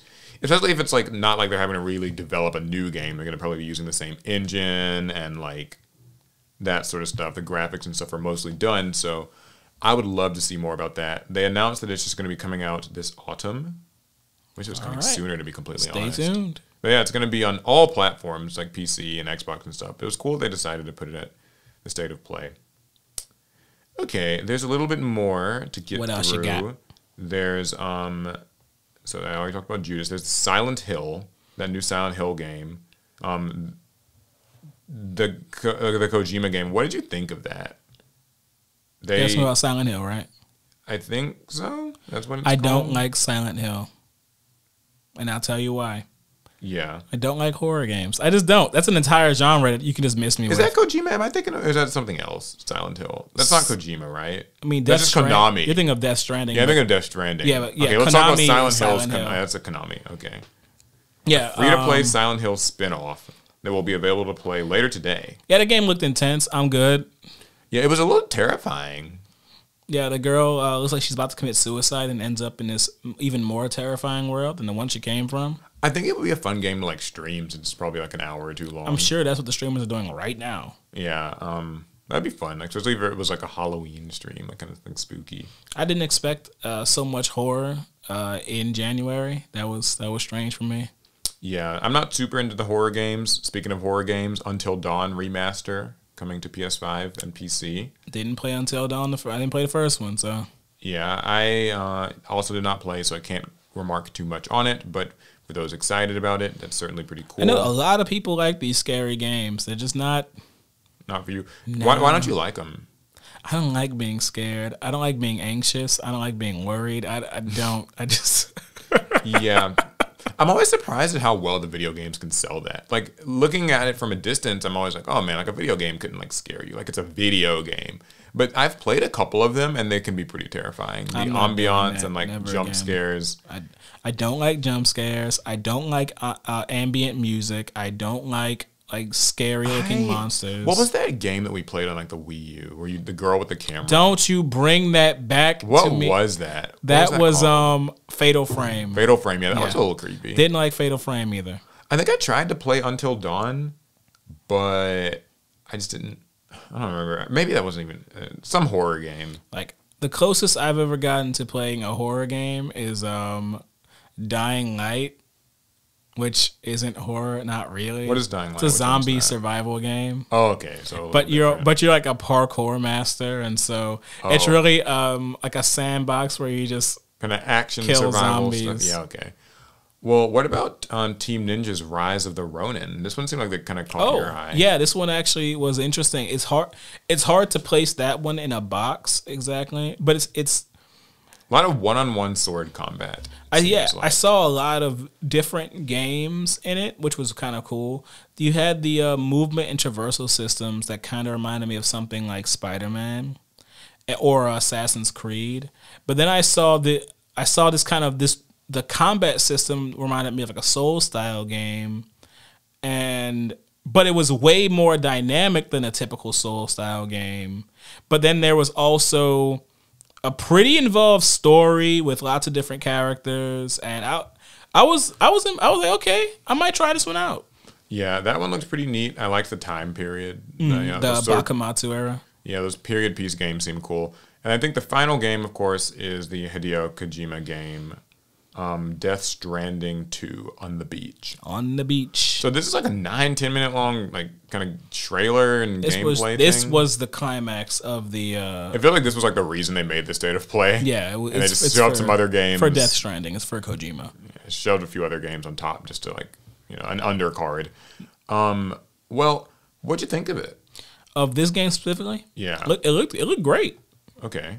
It, it, look, it looks really good. Um, lots of cool aesthetics in the um, the trailer itself. Um, I always like to see Norman Reedus. I was a, I really enjoyed the first few seasons of The Walking Dead, so that was cool. No, that's who that is. Okay. Um, I liked the uh, the dude who had the guitar axe. That was a really cool. That was a really cool thing to see. I'm I'm, I'm a sucker for things like that. yeah. Uh, but yeah, I but I won't be playing it. oh, why not? I think it's too weird. Uh, that's my same feelings with Death Stranding one, the original. Weird in like what way? So the Death Stranding series, ju- I don't know what goes on in Kojima's mind, but he just some he just thinks of some off the wall things to add to his games little bit of fucked up that shit. just but they're not messed up. They're just strange. okay. Like I, I I didn't play Death Stranding. I watched my older brother play it, so that's the best I can give you. But I, I didn't understand why the girl at the beginning had a had the gloves. Oh, like the gloves they- that are like they weird, like gestured and everything, Yeah. and then there was the puppet man who just randomly he, he at a lower frame rate who could talk and move It's like, a, around. it's like a cartoon thing. It feels like, it's like a. There's the baby thing, which I never understood in the first place. It feels like a bit of a trip, like a like a like a drug trip, and uh, like it just these ideas came to him. it feels like it is the like it's the masterwork of some of a creative. In that so i understand that death stranding is pro is pro is is really cool conceptually. I don't want to be in kojima's head. I don't want to be stuck in that world. Seems a little it up. weirds me out. I i can't i can't do it. Well, that's the state of play. What'd you uh, think overall? I'm gonna say that for me, uh, it was a bit short. It felt like you said it was mid no, no, no, no, no. oh okay But um, I think that it they didn't show as many games as I would have expected. oh so very mid Ooh. Yeah. oh Well, you, what did you think? I thought it was peak. I don't know. Like if you know, in this world, there things can only be mid or peak. Yeah, that's right. No, but in all seriousness, uh, I mean, I thought it was fine. Um, I thought it could use some more games, but I that like could the just other be. one we watched had more. I think I feel like it did too. This is coming from somebody who, like I mean I don't I don't play that many games. You guys know this. So like for me, it's more interesting to see a lot of games than it is to mm-hmm. see a few. So even though like literally I will not be playing anything on this entire list except for Sonic, but like I still would like to believe that I could potentially be interested and converted to playing one of them. And I think that I believe that more when there's an event that has like 20 games compared to like eight or 10 or whatever.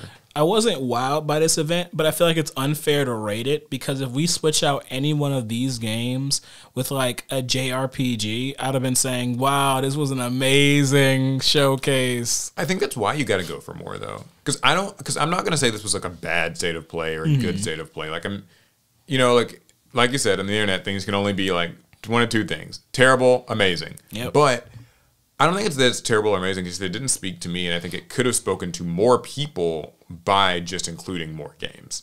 I it felt my this is this is a theory, so take it with a grain of salt. I'm not make I'm not saying I know this for a fact, but it felt like they didn't have as many games prepared, but the date was already locked in. Yeah. And they gave Death Stranding the extra long trailer to fill up the fill space where other games would have been. Yep. Yep. I, I got the same vibe.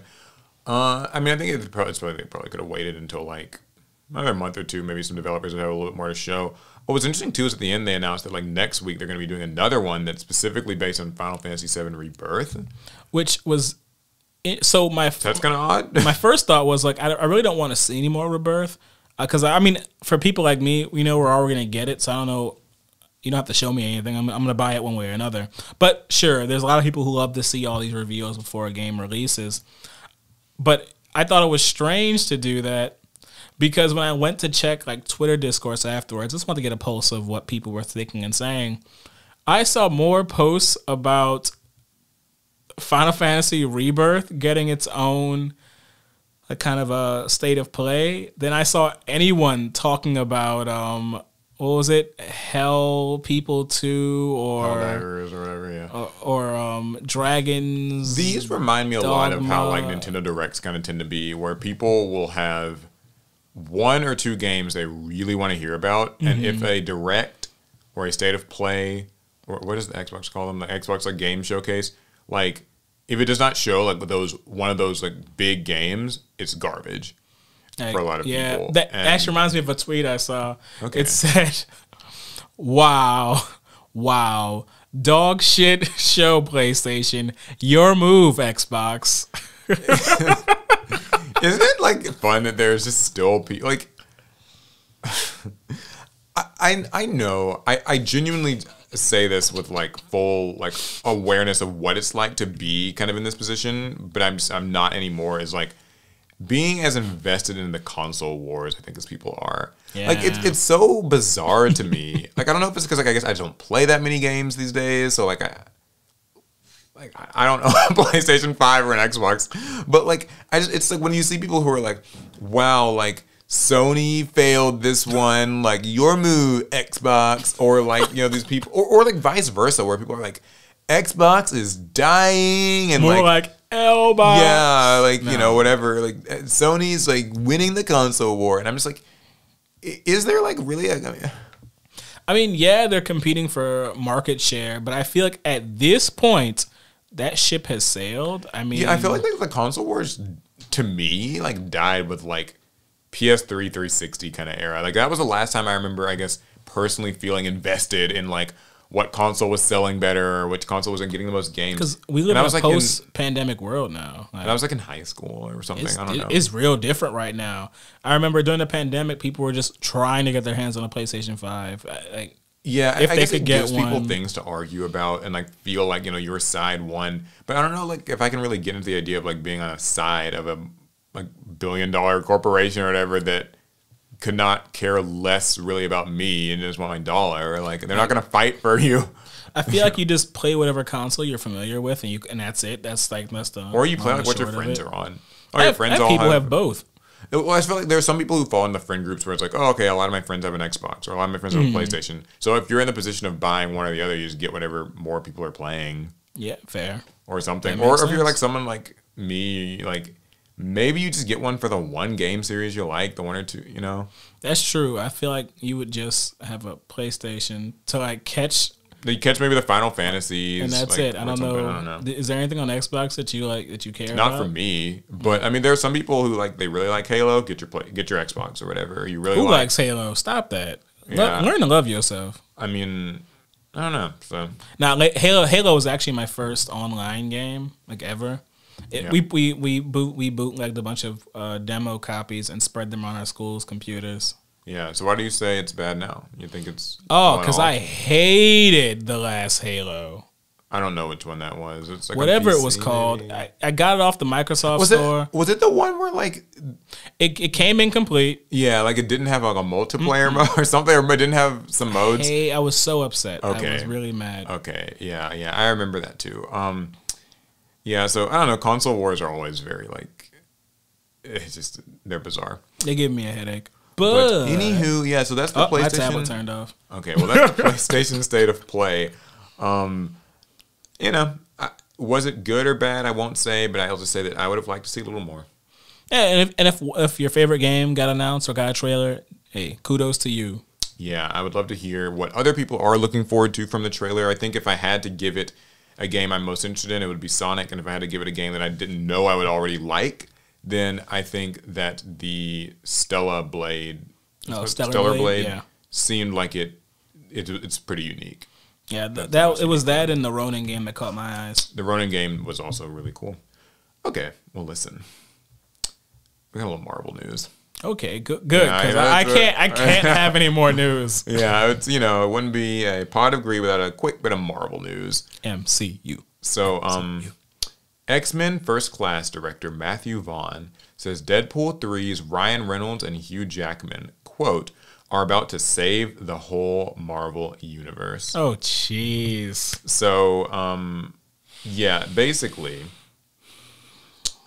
the few snippets that I know about Deadpool versus Wolverine Um, I'm sure that argument between Ryan and Hugh is happening as we speak, whether it's Deadpool versus Wolverine or Wolverine versus Deadpool, whatever, are unbelievable, he says. That's going to be the jolt. The jolt, the Marvel Universe is about to have a jolt of them, and it's going to bring that body back to life. I think Ryan and Hugh are about to save the whole Marvel Universe. Um, so, as you guys know, Deadpool 3 coming out on July 26th. I know it recently wrapped filming somewhat recently. I remember seeing like some posts about that. And it sounds like people are kind of expecting this to maybe be the thing that like turns stuff around for Marvel in the public discourse. What are your thoughts? Okay, first I want to say, uh, you know, I like Deadpool.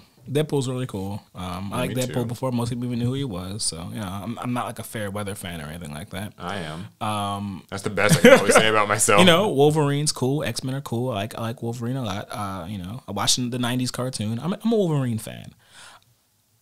Uh, however, let's say this is uh, like this actually comes to pass that Deadpool three the saves the, the MCU. MCU. right? Yeah. Um, so do should the savior of the MCU that will bridge us to the future is two men who've already made many movies and are probably close to retirement.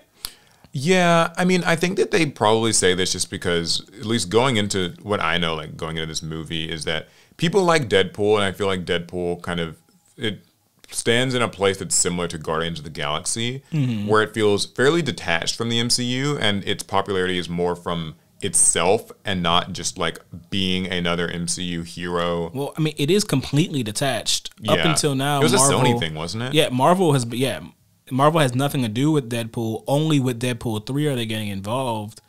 Yeah. so in a I mean, weird way, I hope it doesn't save Marvel just because we're gonna, you know, Hugh Jackman had already retired once. Yeah, I mean, maybe by save Marvel, they just mean it will be so good that people just generally like Marvel movies again. And it's not so much that it's like they're going to become the new Avengers and be in every single thing, but more like, hey, it'll finally be like a big hit for Marvel in a time where they kind of could use it. And they could use a hit, but then the question is, what comes next? Do we make a Deadpool five? Yeah, not Does, sure. does Ryan Reynolds have a Deadpool seven in him? Well, as oh lord, as the article points out, um, you know, it seems like between like Jonathan Majors being, you know, I guess presumably dropped, Marvel's cut ties with him, so we're not sure like what's going to happen with that story. Yeah, that is unfortunate or fortunate, depending on what side of the fence you. And fall on. also, The Marvels became the lowest grossing MCU movie of all time, finishing its theatrical what a run shame. um, with a box office grossing of around $205 million, which puts it roughly on par with DC's Bird of Prey, which was considered a bomb despite ma- making back more than twice its budget.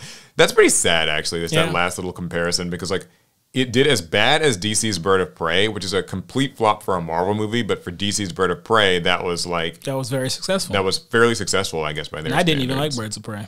Yeah, not one bit. um, Although that that was still, I guess, considered a bomb. So It's, I mean, because we're always going to compare DC to Marvel. So even though DC's standards of success should be lower, they're going to get Marvel standards of success. And Yeah, I don't know. I I mean, like, I will go and see this movie. I think this is the only MCU movie coming out this year, is my understanding. Good. Which, yeah, I'm not saying that's like a good or a bad thing. I mean, I for one don't mind like having multiple MCU films in a given year. I just think that like two is probably as much as I'm willing to. I think given the current trajectory of the MCU, they need to slow down and reconfigure. Okay. Yeah. Well, maybe this will save it, as they say. It sounds I mean, exciting. it could. It's one of those things where the formula should be fine, right? Hugh Jackman's Wolverine tests well across the board. Ryan Reynolds' Deadpool tests well across the board. so it seems like, like, there should. It be- should. It's you know it's too good to fail. It can't go wrong, right? Well, d- what do you think? I mean, I think it'll be fine. I think people will enjoy it. Will I it mean, save the MCU? You figure? no, Can anything save the MCU? no. Does the MCU need saving? the MCU needs to take a hard look in the mirror, and I guess that's what they've been doing lately, and get back to what actually made their movies enjoyable. I always love that like remark about the MCU because I feel like everyone sort of says it, and it just what exactly it is is so hard to capture. Oh, I can capture it. So yeah, like what do you, You think? got you have to drop this whole interconnected w- stories and groundbreak of groundbreaking proportions. Like we yeah we had Endgame. You did you did good. All right. Mm-hmm. However, we only got to Endgame because of Iron Man 1. We only got there because of Captain America. It was a slow build up to that point.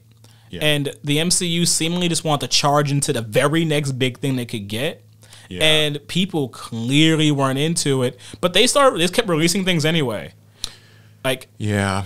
I think that uh, one thing I'll say about the Deadpool movie that seems pretty cool to me is that it's like a kind of team up slash. I mean, it, I guess they're going to be opposed for some of the movie and then probably friends by the end of it. or That's whatever, just Marvel tropes. Well, the thing is, I like that actually because I think that like team up movies are pretty fun. Mm-hmm. I think that when it, what I don't really care too much for is like the like everything is all tied together in this huge multiversal like world-ending story stuff.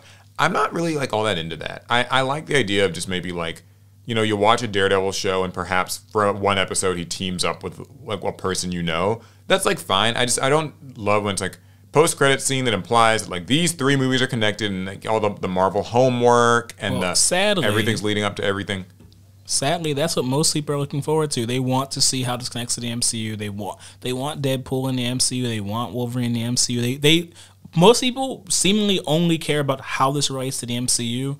And I liked the Deadpool when it was not When a it felt of it. decoupled from it. Yeah, that Okay, this is gonna sound like a really newbie question. but You can answer it for me. So, like, what Wolverine is this? that's a great question.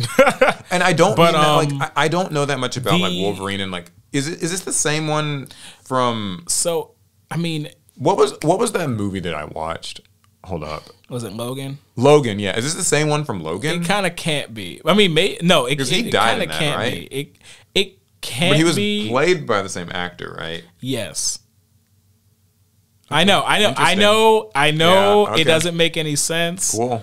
but that's the kind of franchise Deadpool is, and I I feel like Hugh Jackman was actually going to be in Deadpool three with or without this whole MCU deal thing. Okay. So I don't, so I don't think you have to worry about whether or not he connects to the original X Men continuity, like, but So is this this?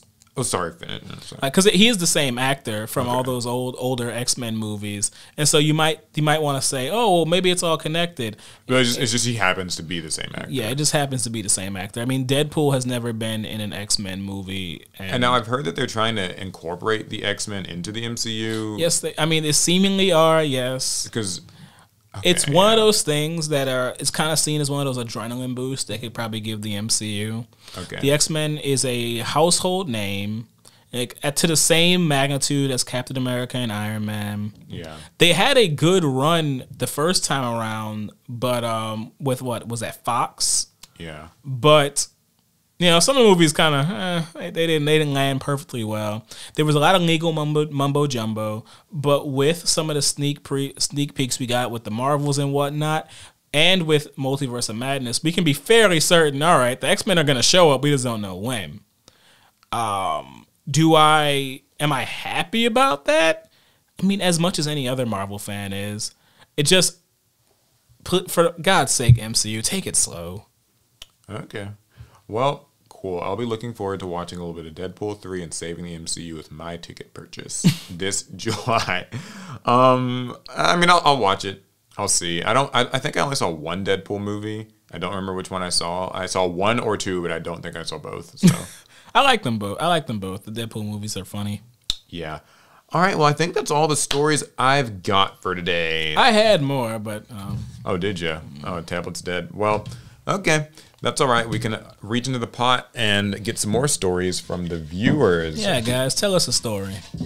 Remember, you can actually go into our Google form. It's in the description to add your own questions, so you too can be included in the pod of greed. Yeah, that's right. I do always love answering a viewer question or two. I think we've got some really good ones as of late, like some really juicy discussion points that, I think some people really just like being a part of the conversation. yeah, and we like for you to be a part of the conversation. It's like an extra story in and of itself, really. Okay, Ooh, this is a long one. So many times in the last round of a tourney, I get anxiety and make poor decisions. Any advice to overcome this? Hmm. Oh I Can't I help you remember. have horrible success in tournaments. Well, I remember writing this question. Yeah, this is a person who was, I think, reflecting on the fact that like whenever they were maybe in the last round of like a case tournament or like a win a like a win a mat tournament, whatever at locals or like a regional or whatever, they would kind of get like cold feet or anxiety kind of in their last round and I guess flub it. Um, relatable. First of all, I think definitely relatable. I mean, I, I've I've been there. My so as somebody who has been kind of at like the maybe top table or something at like a regional or a shop OTS. Obviously not hearing like from a veteran, y'all. Not not not at YCS. I'm not like that good. But you know, someone who's like I've won local tournaments before, of course. But like, yeah, I think that the best thing that I could probably say. Uh, I just kind of, I know this is easier said than done. I kind of just view all my Yu-Gi-Oh rounds as like just like another match. Like I don't, I've never really found myself to be like a person who gets very worried about who I'm facing or like, I mean, I guess like there's like obviously like a a matchup maybe that you don't like, but I guess I just view it as like there's nothing any more special about this round than like any other round. Um, that might not actually be true. Like obviously the person that you're probably playing in the finals is very good, whereas like the person maybe in round one not so much. But I think that that mindset just allows me to not feel any more stressed about the situation Right. than I would um, any other time. I mean, so I've had. I, I, I always forget that uh, while I don't compete well in Yu Gi Oh at all, I have competed in Digimon, and while I haven't won any major events, I've won a few, I've won a few store championships, and I my favorite thing is I've gone to other people's shops and won their locals, which is uh, some when I travel That can feel around. nice. Yeah, I- I'll because I'll travel around. I'll be looking on a little the Bandai TCG app, looking for shops, and a few times I've just shown up to, to people's locals and I, I've won it. And the thing is, I'm typically one of those people who uh, anxiety kind of like destroys me during like tournaments. We used to play. We used to have like we used to have a Smash scene. Uh, what was that? Smash Four. yeah, We used to have a Smash Four scene, and I would practice and practice and practice. I was in no way a complete noob at the game, but I could not win sets. I got anxious. I couldn't stand people watching my games. I got more into. I would look at the reflections in TV in the TV screen and see who's behind me while the match is going, which means you know I probably Yeah, lost. really focusing. If you're making eye contact with someone behind you, you're not gonna win. So all I can say is because that, that didn't affect me on my like my winning tournaments in the Digimon community, and all I can really say is I just kind of focused on the cards. I did. It was usually I like to be very animated and like talk to my opponents a lot when I play, but when I think about it in tournament, I kind of just focus on the cards. I look at my cards, look at their cards, and Yeah. I I just don't let other things enter my mind. Yeah, I'm not a very uh, animated player ever. I'm actually pretty much the opposite. Like I'm very uh, not in like a rude way. I don't. I try not to be like rude to my opponents, but like I know a lot of people kind of they enjoy like you know a lot of laughter, a lot of socializing and joking. Sometimes I play. crack a joke to lure them into a false sense of security. Yeah, like I never really do that, but I think that also can sometimes work to my advantage because like I think I'm or I've been told I'm a bit of a harder player to read for that reason. It's harder to mm-hmm. like kind of tell.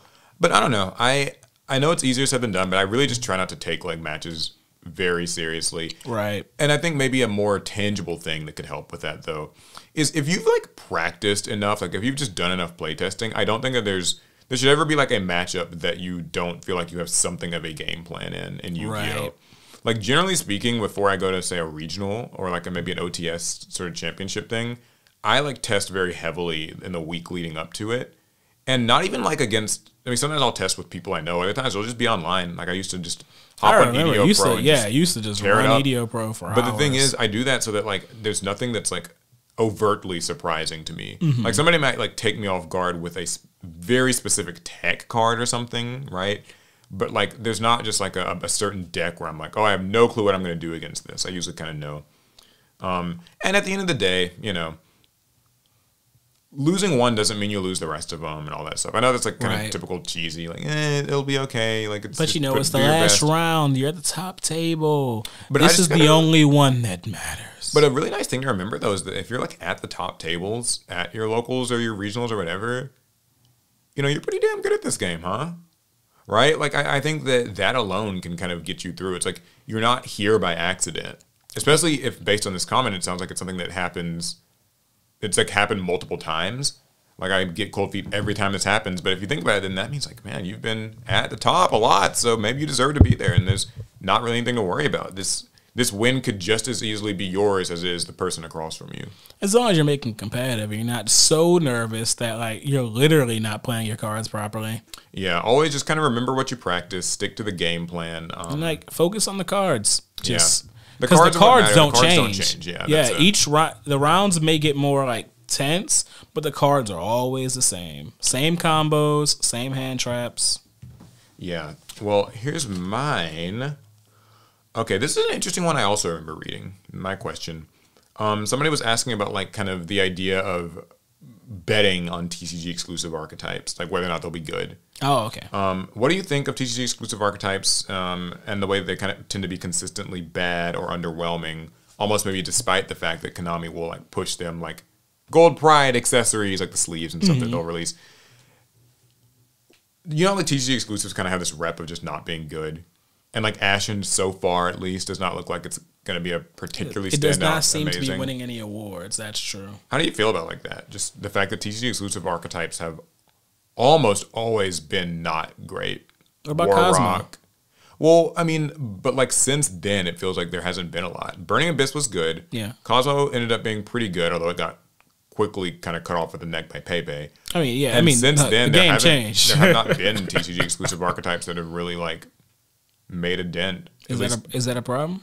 well, for this person, it seems like it is. because that that's actually my point is like is it really a problem that the tcg exclusive archetypes aren't competitive there was no promise that they would be the promise was that they'd have a cool unique design and they almost always do that's what they're promising you they're not promising you competitive success now Yeah. if you want to buy into the hype and spend all that money on these cards i mean that's as far as betting on yu-gi-oh you're making a bad bet Every Yeah. other archetype is released in Japan ahead of time. We get a good idea of how they'll perform here, and sometimes they even still they don't do it.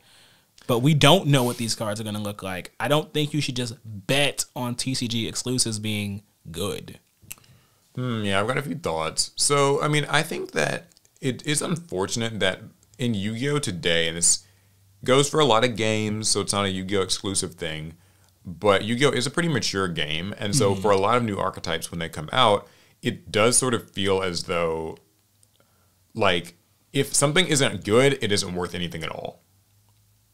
And I, I don't like that. Like I don't like that they're like archetypes can come out and it's like archetype bad, trash. Like it's not worth playing. Like it's not worth your attention. It's not worth anything in the eyes of a lot of players. And I think that there's there's something to be said for just playing a deck because you like it. And even if it's not like the best thing, that should still be okay. Um, something else I was gonna say too is that like I have a hunch. Maybe it's like a tinfoil hat theory, but like a bit of a hunch about TCG exclusive archetypes. What's that? Uh, my hunch is that I think that TCG exclusive archetypes are kind of Konami, you know, because they're usually designed not by like the Japanese team. Yeah. I think is my understanding of it. It's examples or snippets of how Konami kind of maybe wishes this game was played. Does that sound crazy to you? It does feel like a lot of our uh, TCG exclusives play in a. They play really well in a format we're not in. Yeah, they they feel like they're always kind of designed typically like as mid-range or like something and they also typically are just at a more middle power level. Cause like Gold Pride is a pretty solid deck, you know, not in not in the TCG. Yeah, like it's not like a regional winning thing per se, but like it's you could have fun with a gold pride deck. Like you really could and you could still like win if you were maybe playing in a lower power format. Mm-hmm. And that's kind of where I think like with the TCG exclusives they're an example of what maybe if Konami NA was in charge of all this balancing and card design, we might have a game where the power level is simply a little bit like let's just down here, right? compared to um, up here. Because instead of focusing on the abject power of these archetypes, Konami seems to choose to focus on interesting mechanics that other archetypes don't take advantage of. And it seems more about interesting gameplay. Yeah, I mean, I look at some highlights. Like, not all TCG exclusive archetypes have managed to be like super unique, but like Plunder Patrol was a really cool one. I remember that my, was it's my favorite. that was a fun time. Um, I think obviously Kozmos were very unique. Love Kozmos. Um, but even recently, Gold Pride fairly unique for sure. The whole extra deck, they returning the extra deck in the end phase and that whole thing. Uh, Tistina flipped stuff up and down I did not like or something like that. I don't. I did like not read too much into them, and they did not end up making a huge impact. My main problem with them was not the mechanic, but actually just how they looked. Yeah. They, they were like not. They were like kind of just these crystal, Crystal creatures, and it didn't things. seem a little bit too nondescript. We've seen we've seen en- we've seen enough shiny monsters. We, uh, we got plenty. I don't know. I mean, I guess I don't have like a strong opinion on them being good or bad. I just think that they are. uh They are what they are. It, but since that's a cop out answer, here's the best thing I can say to respond to the prompt itself. Um, buy it because you like it, not because you think it'll be good. So whether whatever investing means to you, if that's buying a lot of packs or buying the singles, buy it because you like it, not just because you think it'll be good. And also, um, on Konami's end, I think if they want to make these lower power archetypes that are more middling level, then it's really their responsibility to give those decks a place where they can be used. Because otherwise, if you're going to sit here and release Tistina and seemingly right now Ashen not looking the best, then like you got to give us maybe a format where those decks can thrive a little bit. Uh, you know, I'm always gonna be a little mad that Plunder Patrol don't they never get to be tier one. Yeah, because they, and that's it's like there's not like a place where that stuff can be played. It does seem to me like if my theory checks out, TCG exclusive archetypes are mid level on purpose. Mm-hmm. They they look kind of like how a, a maybe ideal version of Yu Gi Oh from someone's eyes looks. It's just that maybe can we get that format where Ashen is supposed to be viable, where Gold Pride's supposed to be like viable, or It's entirely possible that they're not allowed to make them too strong. could be that too. I mean, Japan makes the the like ninety percent of all cards come out of Japan. They ultimately decide the power level of these cards, and I don't know if they would love the TCG making cards quote unquote better than theirs. Yeah, I mean, like, there's some times where like the TG exclusive stuff has made a huge impact. Like Kaiju, Yeah, they they weren't like the archetype was not seen as good, but like the cards the made a cards splash. themselves were just gigantic. Dangers, that's another one. So you know, there's times where it makes a big splash, but I, I think making these like more underwhelming archetypes is disappointing because it prompts questions like this, where it's like, okay, I'm tired of buying into them and them not being good. When maybe what Konami needs to do then is like create a place where a player can feasibly use them. TCG exclusive format. Wouldn't be the worst thing in the world. Hmm, anyway, would next win question. Oh yeah. I suppose. I mean, unless you, I don't know if you had more to No, I'm good. say on it. Let me dig. There you go. All right, what is this? What are your opinions on Yu-Gi-Oh card lore? Huh? Just, just in general. Just in general, What what is my opinion on lore? Um, it's something that's not widely like it's really not looked at all that much in the Yu-Gi-Oh space. And that's both on like us as um, players, but mostly on Konami. They keep making these cards. They create like faux stories that are told through like artwork and sometimes flavor text, and then we do nothing with that. Uh, agreed. Yeah. So I think I have a few just kind of off the top of my dome thoughts on lore. Mm-hmm. I've said for many times. A, the fact that we don't get those like lore books that they get in the OCG, like they'll release. what, what are they called? Oh, the, I forgot the name. the master guide or just something like guides. that. They'll release them every couple of years, and it kind of just fills in some of the lore of the different archetypes that have released over the last few years. we gotta wait on Um, translations. and we just sometimes will get people who roughly translate them. It's insane to me that Konami does not like release that at least. You don't even release it in stores. Make a freaking PDF on the website. People just download that. I don't know. They seem like so averse to it, or maybe they're not allowed to do it. But I think that would help because it would let people get more invested in the archetypes, um, kind of visually and what's going on. Second thing, uh, make like short animated bits or something. Short animated bits. Hey, let's get get an author to write a book, like a short book. yeah, book. like write an Albaz or Visas like book, or like now we've got you know Diabellstar's Or story going on. Yeah, have a little short manga or like a. I felt like I mean Magic the Gathering does like a, a trailer for new sets that Yeah. like kind of showcases story wise and stuff like what's going on in the set. In fact, they actually um, they tell the entire story of their sets on like their website. You can find out what's happening in the mur- at, with the murders at Karlov Manor. Like It's so strange to me too that like these stories can be happening, but there's kind of a point at which it just like you can't do any more with your interest in it. So it's like let's say that I really like you know Visa Starfrost and just kind of his story or whatever, and like he's on a lot of cards and stuff kind of happens. But like outside of I guess just building the decks and inferring what's going on from the card art, there's nothing else for me there. Like I can't really buy much in the way of Visas merch, and I can't get a more consistent like a, just a. I want the story told to me, not just like through looking at I don't know Kashtira Theosis and just kind of inferring, oh, this must be what's happening here. Okay, great. Like to also make like a, a thing that tells me it, so I um, can like the story. I don't more. know why Konami thinks that such a thing isn't like worth it. Why they think that wouldn't make any money or drive interest.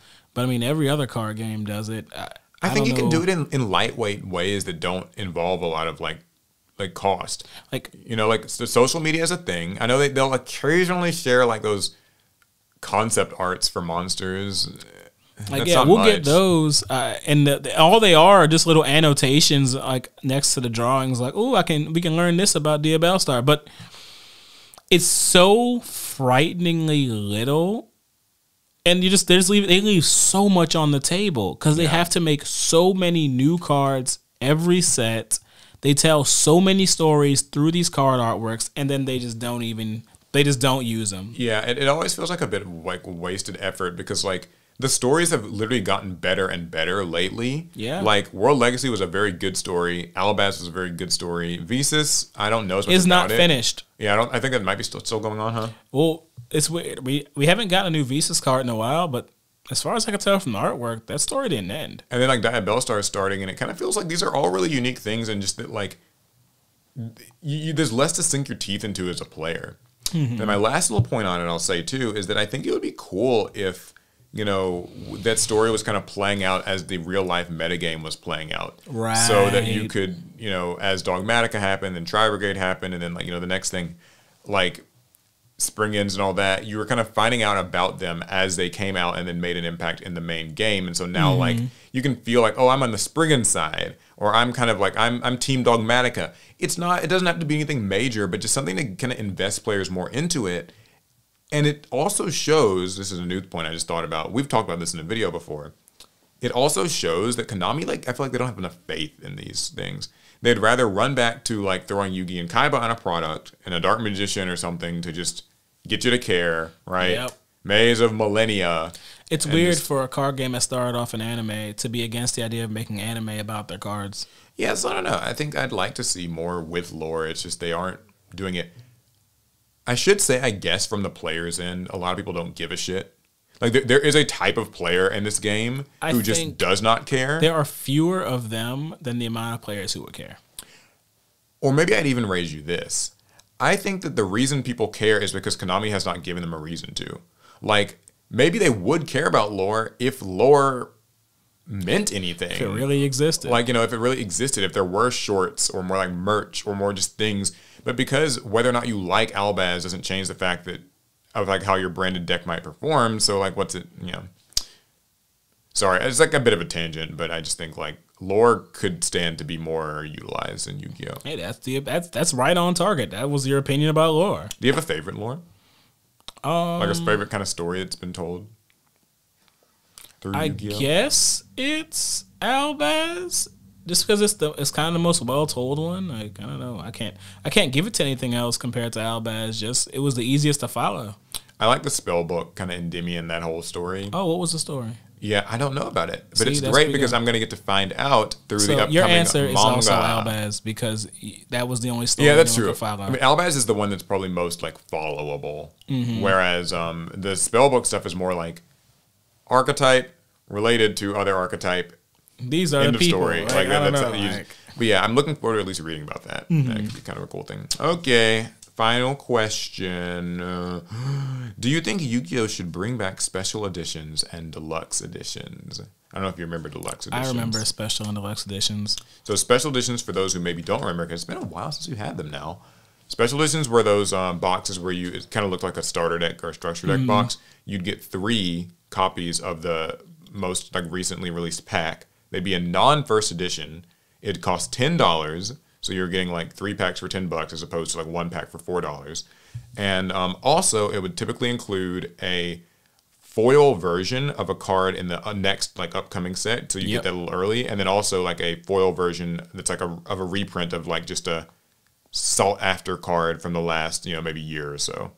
So um, It's a good value proposition. I remember my very first special edition that I got was Raging Battle, the Raging Battle special edition in like 2010, let's say 5D's era, and it reprinted Allure of Darkness for the first time, Ah. and that was a really big deal because Allure was like huge and hard to get and all that stuff. So what do you think? Should special editions come back and or deluxe editions? I would say yes, Mm-hmm. just to have more Yu-Gi-Oh products coming out that aren't just another, you know, another box set. Also, it helps us get reprints faster. Cause I do miss having uh, first ed and unlimited copies of cards. It just felt like there were more cards going around in in general in total.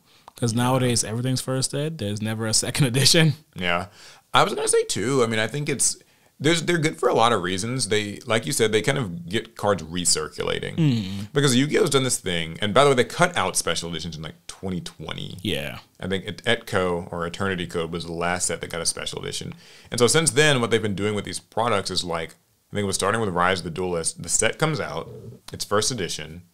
That's it. Yep. There's no unlimited edition of sets. They've done that maybe one time since they changed. It for Power of the Elements kind of randomly, but like they don't uh, do a special edition or anything. And so it's kind of like when certain sets have like a lot of staple cards. Like let's take Age of Overlord perhaps. Age. SP, Little Knight, um, you know, Typhon, what's the Horus thing, you know, Wanted, all that stuff. Imseti. Yeah. If you're once your shop's kind of like sold out of its Age of Overlord, it's quite difficult for shops to really order more of it. Like there's not like there's just kind of a limited run. And I think on Konami's end, I guess it's cool. Like it's like a you know, hurry, get it while it's hot. Like hurry and buy, it'll be gone. But I think for players, it means that in a lot of local scenes, what I notice happen oftentimes is like players get their copies of the stuff, and then no more no more copies enter that kind of local circulation. Yeah, it's just done. If anyone else gets it, it's because they like ordered it off like online. At our locals, there will be no more Wanteds, no more Imsetis. We don't have Age of Overlord. It's yeah, done. and the people who have them are just keeping them because they're using them, and they, they got the bare minimum amount, and like no more product really gets Yep. moving there. So in that way, I do think like they really have to. Uh, there's got to be a better way for that. Yeah. Now, a second benefit I think to those is that a good value to money. B they were fun for Larry in the hole. C uh, they, they really were. They were good value. Like back when he was like you know opening packs and stuff. Like if you had like X amount to spend and getting three packs for ten dollars is good value for money. Um, they make good tournament prize entries as well. Like if you were kind of doing like a local tournament or more of like a or maybe like a homegrown thing, like a, kind of your local library or something, they could be like a nice thing to hand out. Like for ten bucks, you could do worse. That's true. Um, but I think Konami stopped doing it because the the issue you run into is if you release a bad set that no one wants, Mm-hmm. no one's gonna want the special edition either. That is true, and and I know that those would sit on shelves. I I've seen the problem of like you know going to a Walmart or a Target. I think the last set I remember that happening a lot for was like Rising Rampage. It's like a 2019 set, and like people didn't really like it. It did not have great cards. Um, Dark Neostorm, like there's there's been a few sets where like if it's an underwhelming set, then the special edition will also be underwhelming, and it'll sit. And Konami doesn't want you know stuff collecting dust. So But it could stick like good reprints in them and try and move those special edition packs. But Yeah, I don't know why Konami doesn't seem to like it. I think they should come back. Um, also, to answer the question about deluxe editions, those were a bit shorter lived. Those are those little things where you get like, you know what? They were like elite trainer boxes, sort of. were they? Because deluxe editions, you got um, nine or ten packs, was what it was, wasn't it? It was it was more. It's definitely more packs than the special like, edition. Nine or ten of them. I I'm trying to remember my last deluxe edition. I want to say they were about so many thirty dollars. They're like twenty nine ninety nine, and you got like nine or ten Why packs. do you remember this? I have a really, really like The price though, memory. you insane. I mean, I want to say that's what it cost. It, it- I might, I might be wrong. I remember like getting like a lot of them for Judgment of the Light and like Mm-hmm. Duelist Alliance. Judgment of the Light. That was my that was my uh, last one. I remember it now. Okay. Yeah. So, I mean, I think you probably couldn't bring them both back. You probably just bring back one or the other. Right. But um, I'm team yes, bring them back. Yeah, I say I mean, do go it. on Konami. I, I'll Sure. I'll buy a few. And, Um, and, hey, and look me. You just make better products than they'll sell. I guess easier said than done.